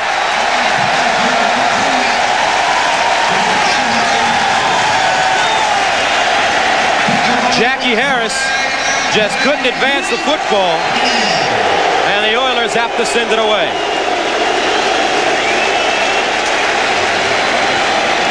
Forty-fourth consecutive sellout here in Foxborough. He- and back deep, Craig Hentrich at the 25. Away! High wobbly kick, Troy Brown, fair catch signal at the 15. 44-yard punt, no return, 156 to go, 13 apiece. Tennessee, New England tied at 13 apiece, under two minutes to go in the third quarter. Gus Johnson along with Steve Tasker, the field goal kickers, playing a big role early. Adam Vinatieri and Al Del Greco both with two field goals. Eddie George with the touchdown. Robert Edwards with the touchdown. 13 apiece. New England from the 16. Bledsoe pumping, and it's batted down at the line of scrimmage. Gary Walker got a big hand up there and redirected the football. The Oilers coming with five guys. They should have been picked up. Drew Bledsoe knew that, knew he had time to throw it. But watch right here. You'll see as his arm comes up. Just and it's amazing to me that this doesn't happen more often. But then again, Drew Bledsoe's 6'6", too. He throws the ball out of there pretty high. That's the land of the Giants in there. Walker, fourth year out of Auburn. They hand it off. Shaw. And he may have gotten back to the line of scrimmage. Lyons on the play. Now, next Saturday at noon Eastern on CBS Sports, it's a NASDAQ college football doubleheader. In the first game, Heisman hopeful Cade McNown leads UCLA against the Miami Hurricanes. And in the nightcap, Tim Couch challenges Steve Spurrier's attack when the Wildcats tangle with the Gators. And what a great football game. Seen here on CBS last night, Tennessee finally beating Florida down in Knoxville. Phil Fulmer has to be a happy man today. Bledsoe over the middle. Caught. Cullors changes directions. And Cullors gets up to the 22. Stopped by Denard Walker. Once again, the Oilers allowing them to complete the short pass, confident they can come up, make the tackle before they can make convert the first down. It's a basic premise that the that the Patriots have not been able to counter. So Derrick Mason back deep. Derrick Mason to receive. Fourth round pick. Tom Tupa standing at the nine. Mason out of Michigan State from the 32. Turning it straight ahead up to the 45-yard line. And that's how they want return men to run the football when they catch it, straight ahead. North-south, you're not going to get anywhere because the, the coverage moves so fast down the field. When you start to run sideways, they cover ground very fast, and there's no place else to go. Straight up. 43-yard punt, six-yard return for Derrick Mason. Jeff Fisher's team here on the road, they are a great road football team and really have a benefit that Pete Carroll, head coach of the Patriots, wishes his team had. They were drawn together by all the road teams, had a real team unity, a real close-knit bunch because of all the adversity that they've been through. First down from the 45 for Tennessee.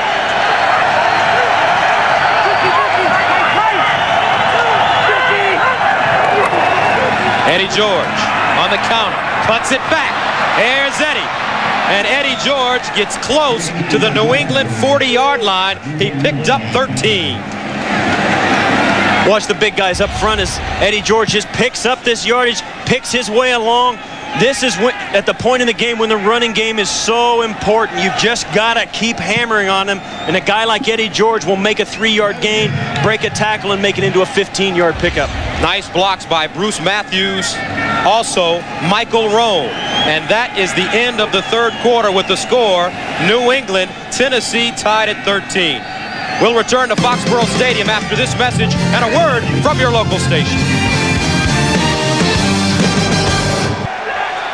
And the scoring through three quarters, even all the way down. We begin the fourth quarter of play. Eddie George around the far side and nothing doing. Marty Moore with the tackle. Check that. Todd Collins with the tackle for New England. Played that exactly like an outside linebacker should. Let the play develop, slid to the outside. He's got the outside gap, got way outside, didn't let Eddie George go wide, and then made the play when Eddie broke down to make a cut. Excellent play by an outside linebacker. Lost one yard. Second down and 11 from the New England 43. George straight ahead, power running inside the 40. And he gets to the 38. Eddie George, not only a Heisman Trophy winner, 1,000 yard rusher, Pro Bowler, but an actor as well. Do you think I can find it? Absolutely. Great, I have my agent cut you a check. All right, man. Peace and love. We'll see you, Leon. See you later. We'll call you as soon as we find anything. That's Eddie on Nash Bridges with Don Johnson and Cheech Marin. He was the best guy in the scene. He was the best guy in there. That's Friday night on CBS. He says, I don't like that acting stuff. It was just one thing I got a chance to do. Third down and seven. McNair dumps it.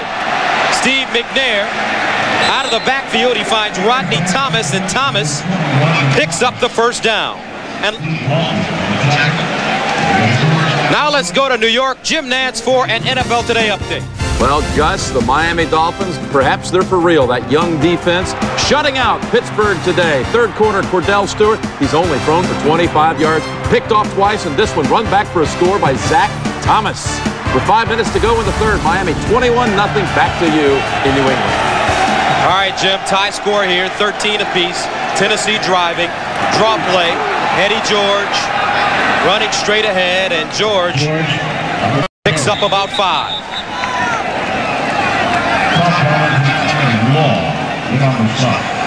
This game dead even on the scoreboard, and really it's it's interesting because one of the things that makes these teams even is their ability to protect the football. But what about the job Steve McNair has been doing?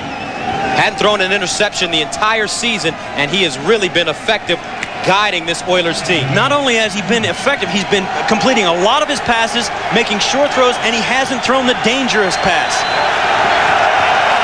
Second down and seven.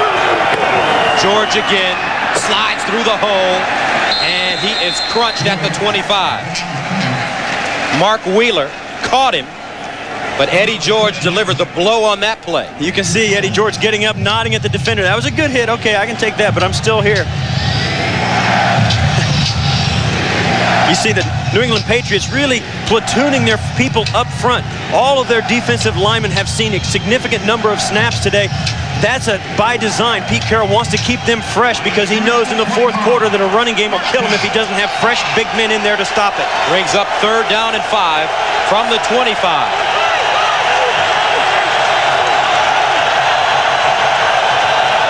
And Steve McNair burns a timeout. 11.30 to go in the fourth quarter, tied at 13.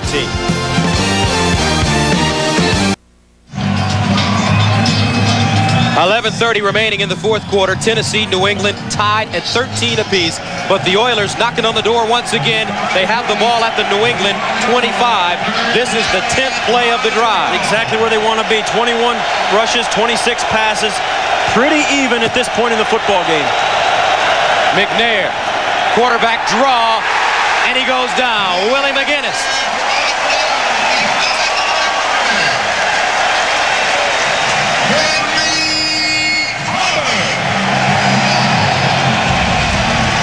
No doubt about it, this was a called quarterback draw. Willie McGinest, really the only guy up front who's played about every snap for the defense, reads it. Nowhere to go. That play was sniffed out and stopped before it started by the New England Patriot defense. Henry Thomas also in on the play. So that brings on Al Del Greco to attempt a 45-yarder.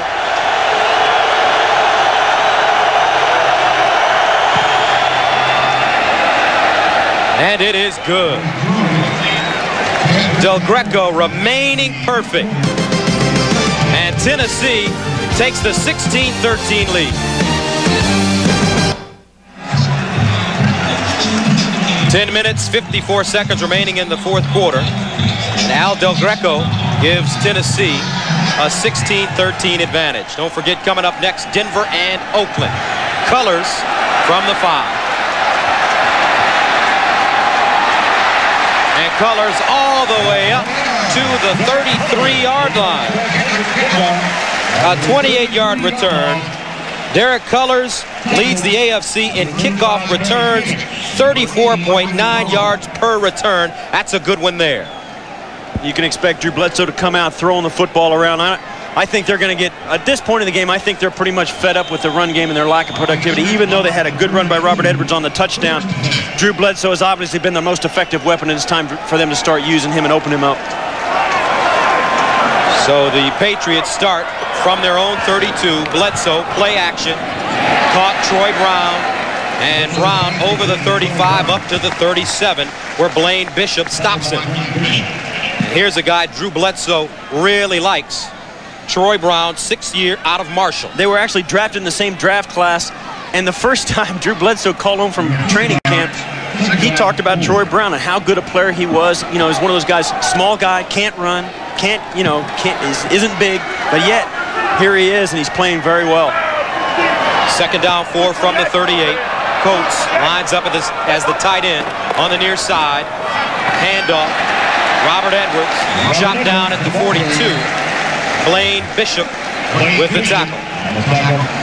As much as we talked about balance on the side of the, the Tennessee Oilers, the New England Patriots have really tilted the scales toward the pass. And I think that's a, a tribute to Drew Bledsoe and his ability that, that they have done that. But Pete Carroll cannot be happy with that. They are not going to be able to consistently do the things they want to do offensively without a running game. They're going to have to find it somewhere. Pete Carroll really, it, when he spoke to us, he laid it right at the feet of the offensive line. He really thought they were causing, having some leakage. Uh, he wanted them to play more physical up front. Look at the Jets responding as they are throttling Indianapolis today. And your team, former team, Buffalo, beating St. Louis. Finally trying to get into the win column. Kansas City handing San Diego their first loss of the season. Not a good outing for Ryan Leaf. Last we heard, three interceptions.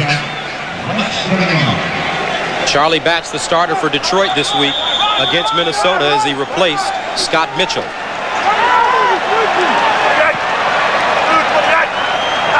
Third down and inches, Drew Bledsoe, 6'5", 233, leans forward and picks up the first down.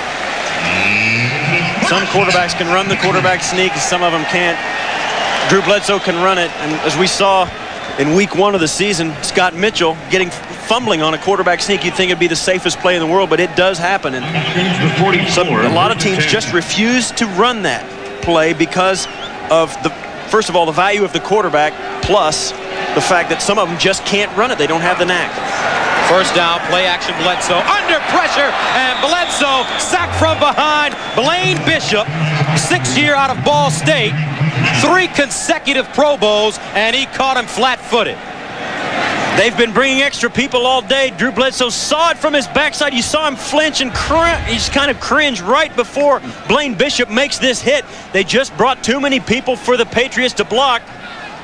And they, the thing about this Oiler defense is everybody gets a sack. The safeties get sacks, the linebackers get sacks, the defensive line gets sacks, the cornerbacks get sacks. Everybody gets a chance to rush. Everybody gets a chance to rush the passer sometime. Bledsoe sacked four times, hurried four times. Second down and a long 16. Bledsoe batted away, and Bledsoe goes up high to get it. Gary Walker his second deflection of the day. Drew, Drew Bledsoe caught that ball himself, tried to catch again, and he got thumped. He got absolutely crushed by Gary Walker. You'll see as the ball pops up into the air, and this is dangerous because the ball is up in the air, and it is up for grabs. That's a live ball. Bledsoe goes up and, and tries to catch it. And man, I'm telling you what, that's something you, as Pete Carroll and the offense of the Patriots don't want Drew Bledsoe jump going up for a rebound in the middle of a bunch of 350 pounders. So Bledsoe, third down, 16. Underneath Glenn, and Glenn, he is whacked at the 45. Steve Jackson with the tackle cut him down quickly, and the Patriots have to punt. And once again, it, and the Patriots are willing to do that. They'll take that completion knowing that you don't complete third and 16s and you don't complete third and over 15 yards. You just take it, get a little extra field position, give your punter a chance to put it out of bounds inside the 10. Tom Tupa standing at the 31. Derrick Mason at the 8. Gone. And Mason lets this one go into the end zone into the end zone Flags are on the play, though. One sitting at the 40-yard line. 54-yard punt for Tom Tupa. And this is against New England. They may decline this and take the football instead. That ball going into the end zone. It was an illegal man downfield, as you'll see. And they're going to decline that because they'll take the football. Ineligible member of the kicking team, number 99 downfield. The penalty is declined. First down. Vernon Crawford got down there too early. 7.47 to go here in the fourth quarter. Tennessee on offense after this. 7.45 remaining in the fourth quarter. Oilers lead the Patriots 16-13. And they have the ball first down and 10 from their own 20-yard line. Jackie Harris in motion. Here's Eddie George. Oilers staying on the ground. And Eddie George gets to the 22-yard line. Gus Johnson along with Steve Tasker and this Tennessee team with an opportunity to put this one away. And this is where the running game that they've they've had balance all day, but this is where the running game is huge. It runs out the clock. Seven and a half minutes to go in this game. They need first downs, plus they need to come away with points would really be big. If even a field goal would force New England to score a touchdown to beat them. Jeff Fisher, he's got the balance that he was looking for coming into this game. Second down and nine from the 21. There's Wycheck. Here comes a blitz. Eddie George. And George gets to the 22. Gain of one. Ted Johnson smelled it out. And he came up and made the hit. Eddie George almost slipped just before he took the handoff from Steve McNair on a counter step. He'll step to his left, and then as he started to plan, come back to his right, he slipped, and it made them a little hesitant on the handoff. And didn't he didn't get to the hole that he wanted to get to quite as quickly as he normally would have. But this is where Eddie George has really been a weapon. Receiving the ball out of the backfield. He's got three catches, 64 yards. He has 100 yards rushing on 23 carries. Third down and eight.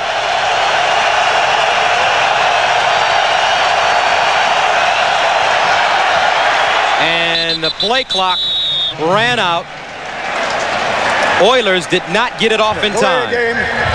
Offense, five-yard penalty, still third down.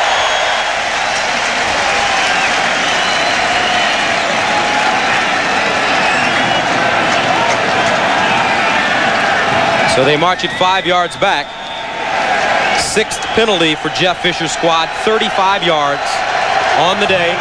That makes it third down and a long 13. And here come the fans.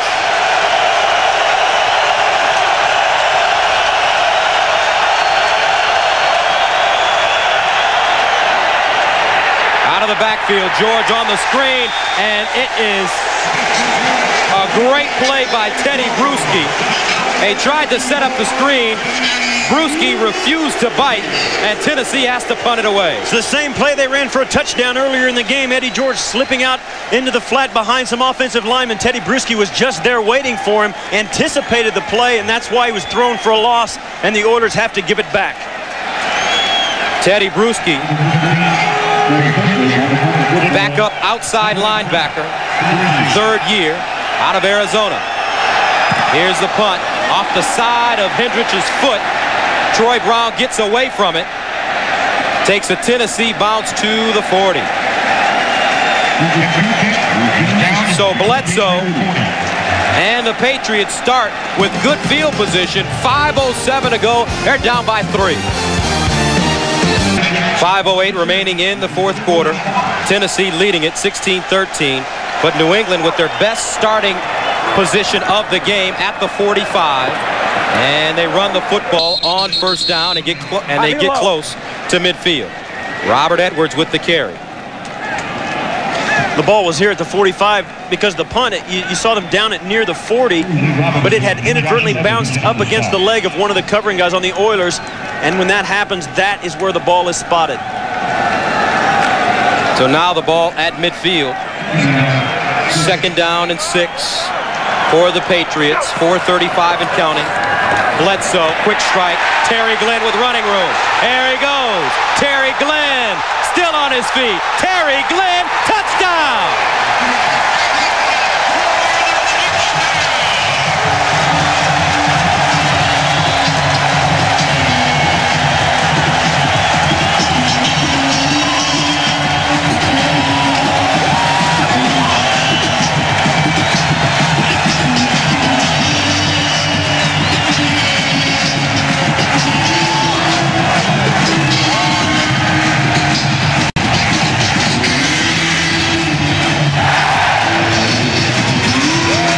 So Terry Glenn, a 51-yard touchdown from Drew Bledsoe. He's got four catches, 102 yards. Adam Vinatieri in to attempt the extra point, and it's good.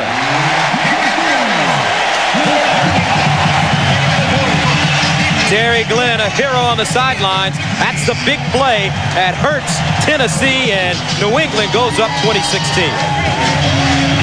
Now Darrell Lewis guarding Terry Glenn. Off him and outside, Terry Glenn just turns inside, catches the football. There's nobody there. There's only three defensive backs in the back in the defensive backfield. Everybody else was up to stop the run. They hit the quick slant. There's nobody to stop him. Watch here as he catches it. He's in a green field all by himself. Nobody touches him until he gets down to the 20. And that's Darrell.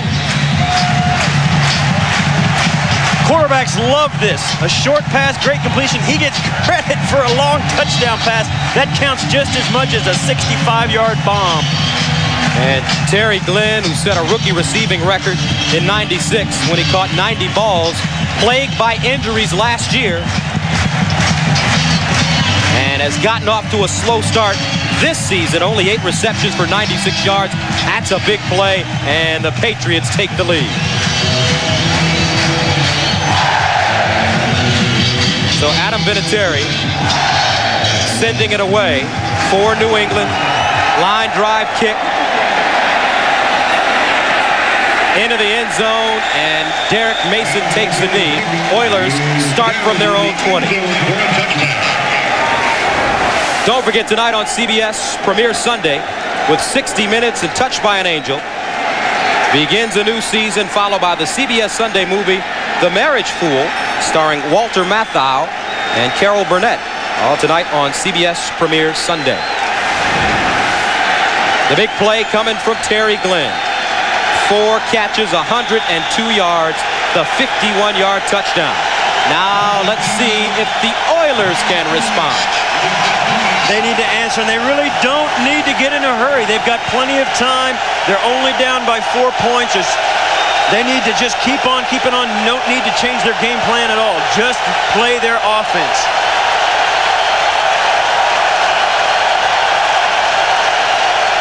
McNair rolls out across his body, incomplete. Intended for Willie Davis. And he wanted pass interference. Now that was a dangerous throw. Steve McNair throwing back across his body into the middle of the field.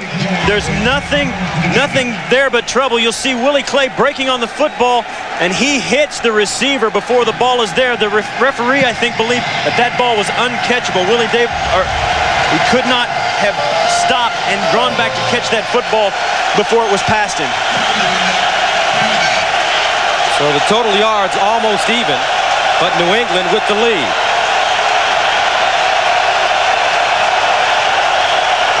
On second and 10, McNair. Intercepted!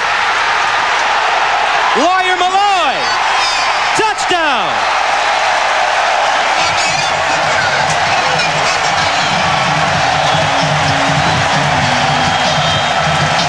The first interception of the year for Steve McNair, and Lawyer Milloy runs it back 30 yards for a score.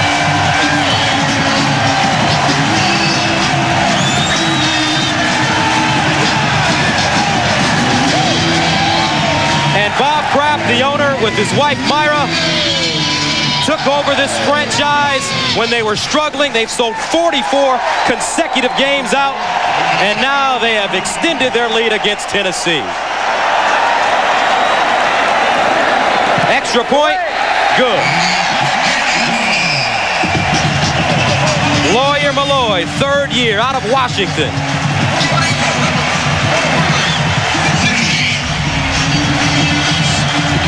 Steve McNair prides himself on taking care of the football. This play, this throw was right into the arms of Lawyer Milloy. There's,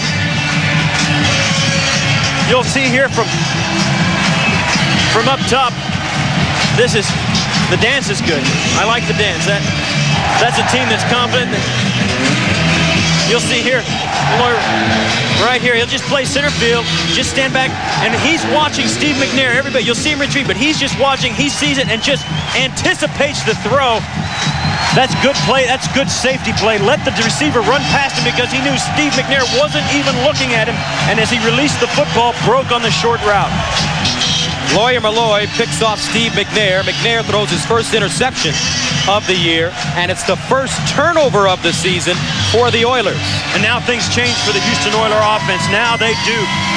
They they have to. Tennessee Oilers have to do something different on offense. Now they are going to have to start throwing it around. Steve McNair has to shake that off to give his club a chance to come back and get in this football game, but now it's going to take a superhuman effort by this Tennessee team.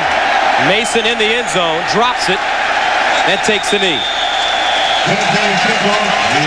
So Steve McNair goes back onto the field. Up into then, just a very effective day for him.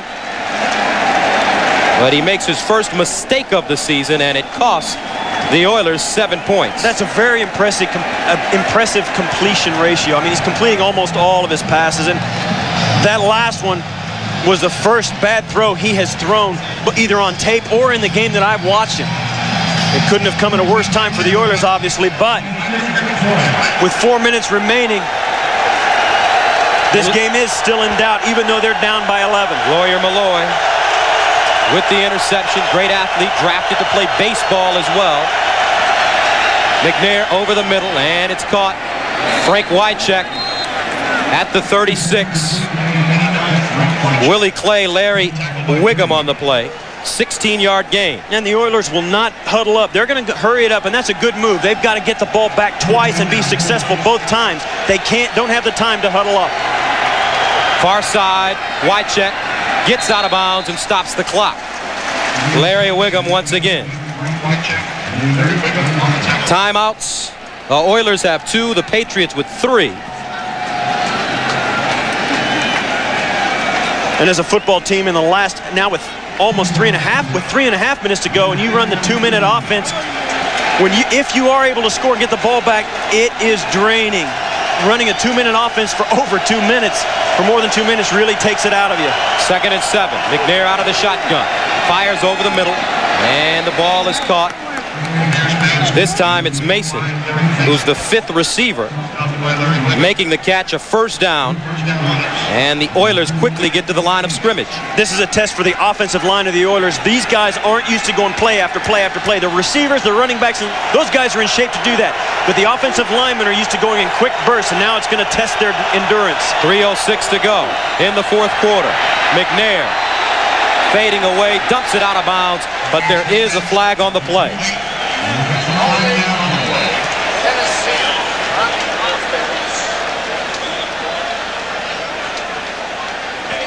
Deep in the defensive backfield, that flag was thrown. It looks like it may be defensive pass interference.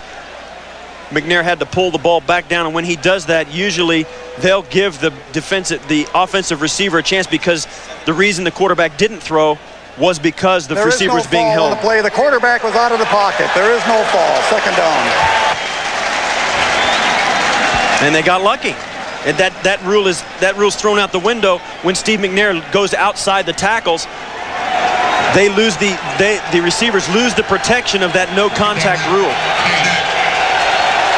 3:01 to go. Second down 10 from the 47 for Tennessee. Here comes a blitz. And McNair dumps it again. Larry Whigham really close to Steve McNair, forced him to get rid of that one early. And as this drive wears on for the Oilers, you can see you'll see the pressure start to get to them as the offensive line of the Oilers has been out there play after play after play. This is when the rotation of the defensive line that they've been doing, the Patriots have been running guys in and out of there. Those guys are fresh. The offensive line doesn't have that luxury. They have to play every play. Third down and 10 from the 47. McNair under pressure, got it off. Jackie Harris with the catch. First down at the 39. Lawyer Milloy with the tackle, but it's a gain of 13. And the clock continues to run. Now McNair, first down Quick drop to the far side. Harris with the catch. He gets out of bounds at the 35. That play is just like a gain of three, and then they take a timeout. That's the same play they ran on first down earlier in the series. That's just that is just to get the ball out of bounds, get the completion, get a couple of yards, and stop the clock. Gain four, second and six for the Oilers. 2.30 remaining in the fourth quarter. McNair. And what a hit by Chris Slade as he just wiped out Rodney Thomas. And he's still down. He's not going to get up. Not for a minute.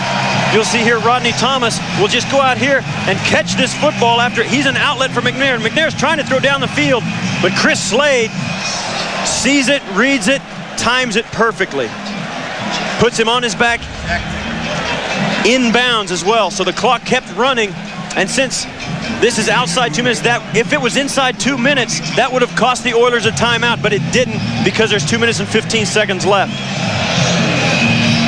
And Thomas, fourth year out of Texas A&M, Eddie George's backup, is still down on the far sideline. Both Pete Carroll and Jeff Fisher concerned with Rodney Thomas. Chris Slade timing that hit absolutely perfectly. And the, the thing about it for the Patriots is that that was play was stopped in bounds. And now, since it was such a good hit, the clock stopped anyway.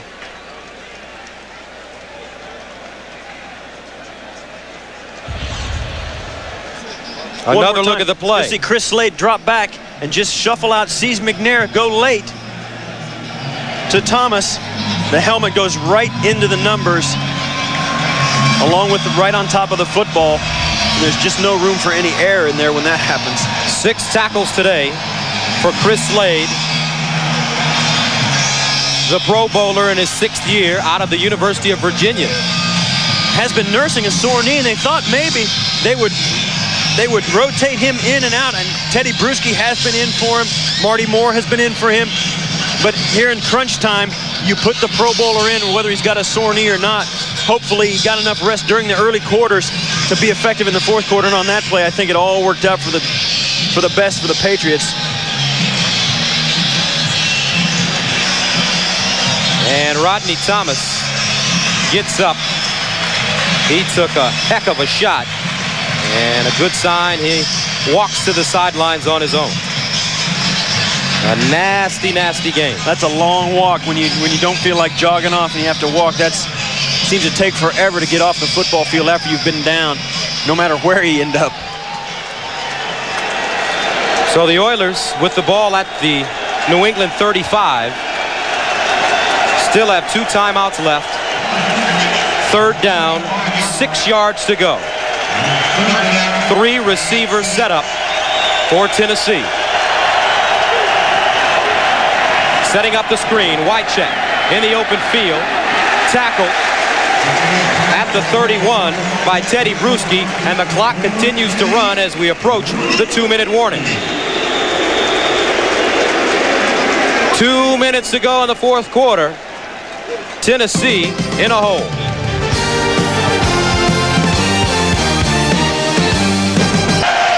Patriots lead at 27-16. Two minutes to go in the fourth quarter. Last chance to dance for Tennessee. They've got it fourth down and three from the 32.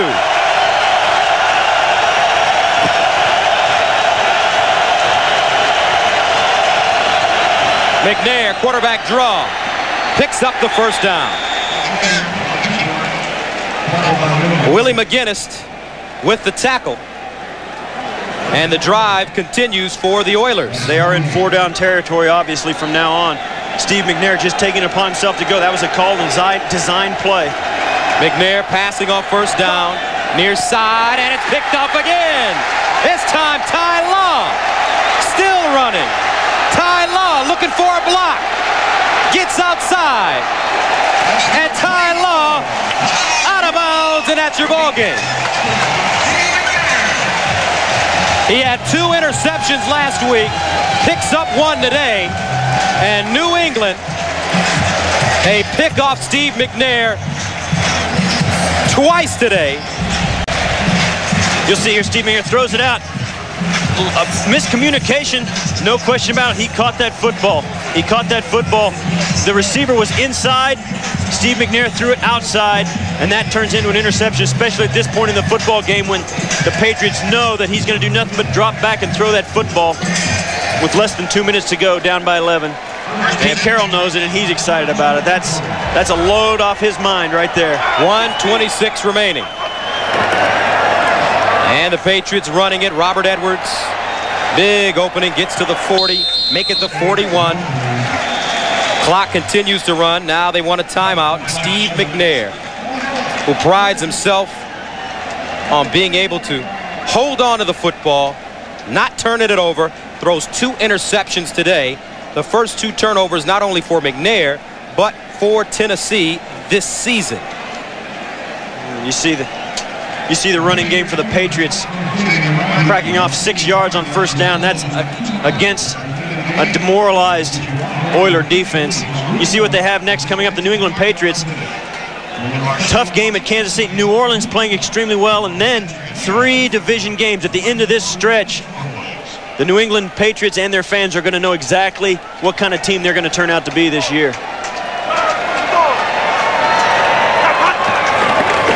Edwards again with a big hole. Robert Edwards.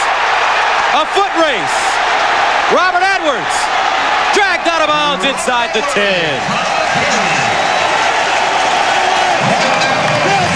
So the rookie with the big run. And that's what they want to see here in New England to forget about Curtis Martin. What happens, these the Oilers jump on the line of scrimmage, and if the running back can find a crease and pop through, there's nobody left except Darryll Lewis, who just has to run try and catch him, flag him down. Pete Carroll almost kept up with him on that run, trying to keep up on the out. He did cheer louder, I think, though. 52-yard run for Robert Edwards. And with 108 to go, New England inside the 10. Drew Bledsoe takes the knee as they show a lot of class, not running up the score on Tennessee. You see some of the, the hardcore Patriot fans booing that. They want to see more points, but you know what? That's a good move by the Patriots. You never know who you're going to see down the road, especially in the playoffs. And if they can give the Oilers some motivation by rubbing their noses in a, in a game in which the Oilers played extremely well, uh, they're going to try not to do that. And this running the clock out here with now with 35 seconds left in the game. It's an excellent play by the Patriots. Just take the win. Don't do anything that's that's going to make a statement about how you feel about the other team. Bledsoe taking a knee once again. That's the final play. Drew Bledsoe, when the Patriots needed offense, he went to work, finding his number one wide receiver, Terry Glenn. He told us he wanted, as we said in the open, he wanted to leave a long-lasting memory in the in the heads of the Oilers about what it is to play here in New England against this team. The Oilers hanging tough through three and three quarters of a game, three quarters and plus most of the fourth quarter, breaking loose here in the last part of the fourth quarter to get a couple of big plays and put this game away early. Coming up on the NFL Today postgame show, join Jim Nantz, Marcus Allen, Brent Jones, and George Seifert for all the scores and highlights and the latest NFL news. Also, Denver and Oakland, the second game of our doubleheader, coming up next.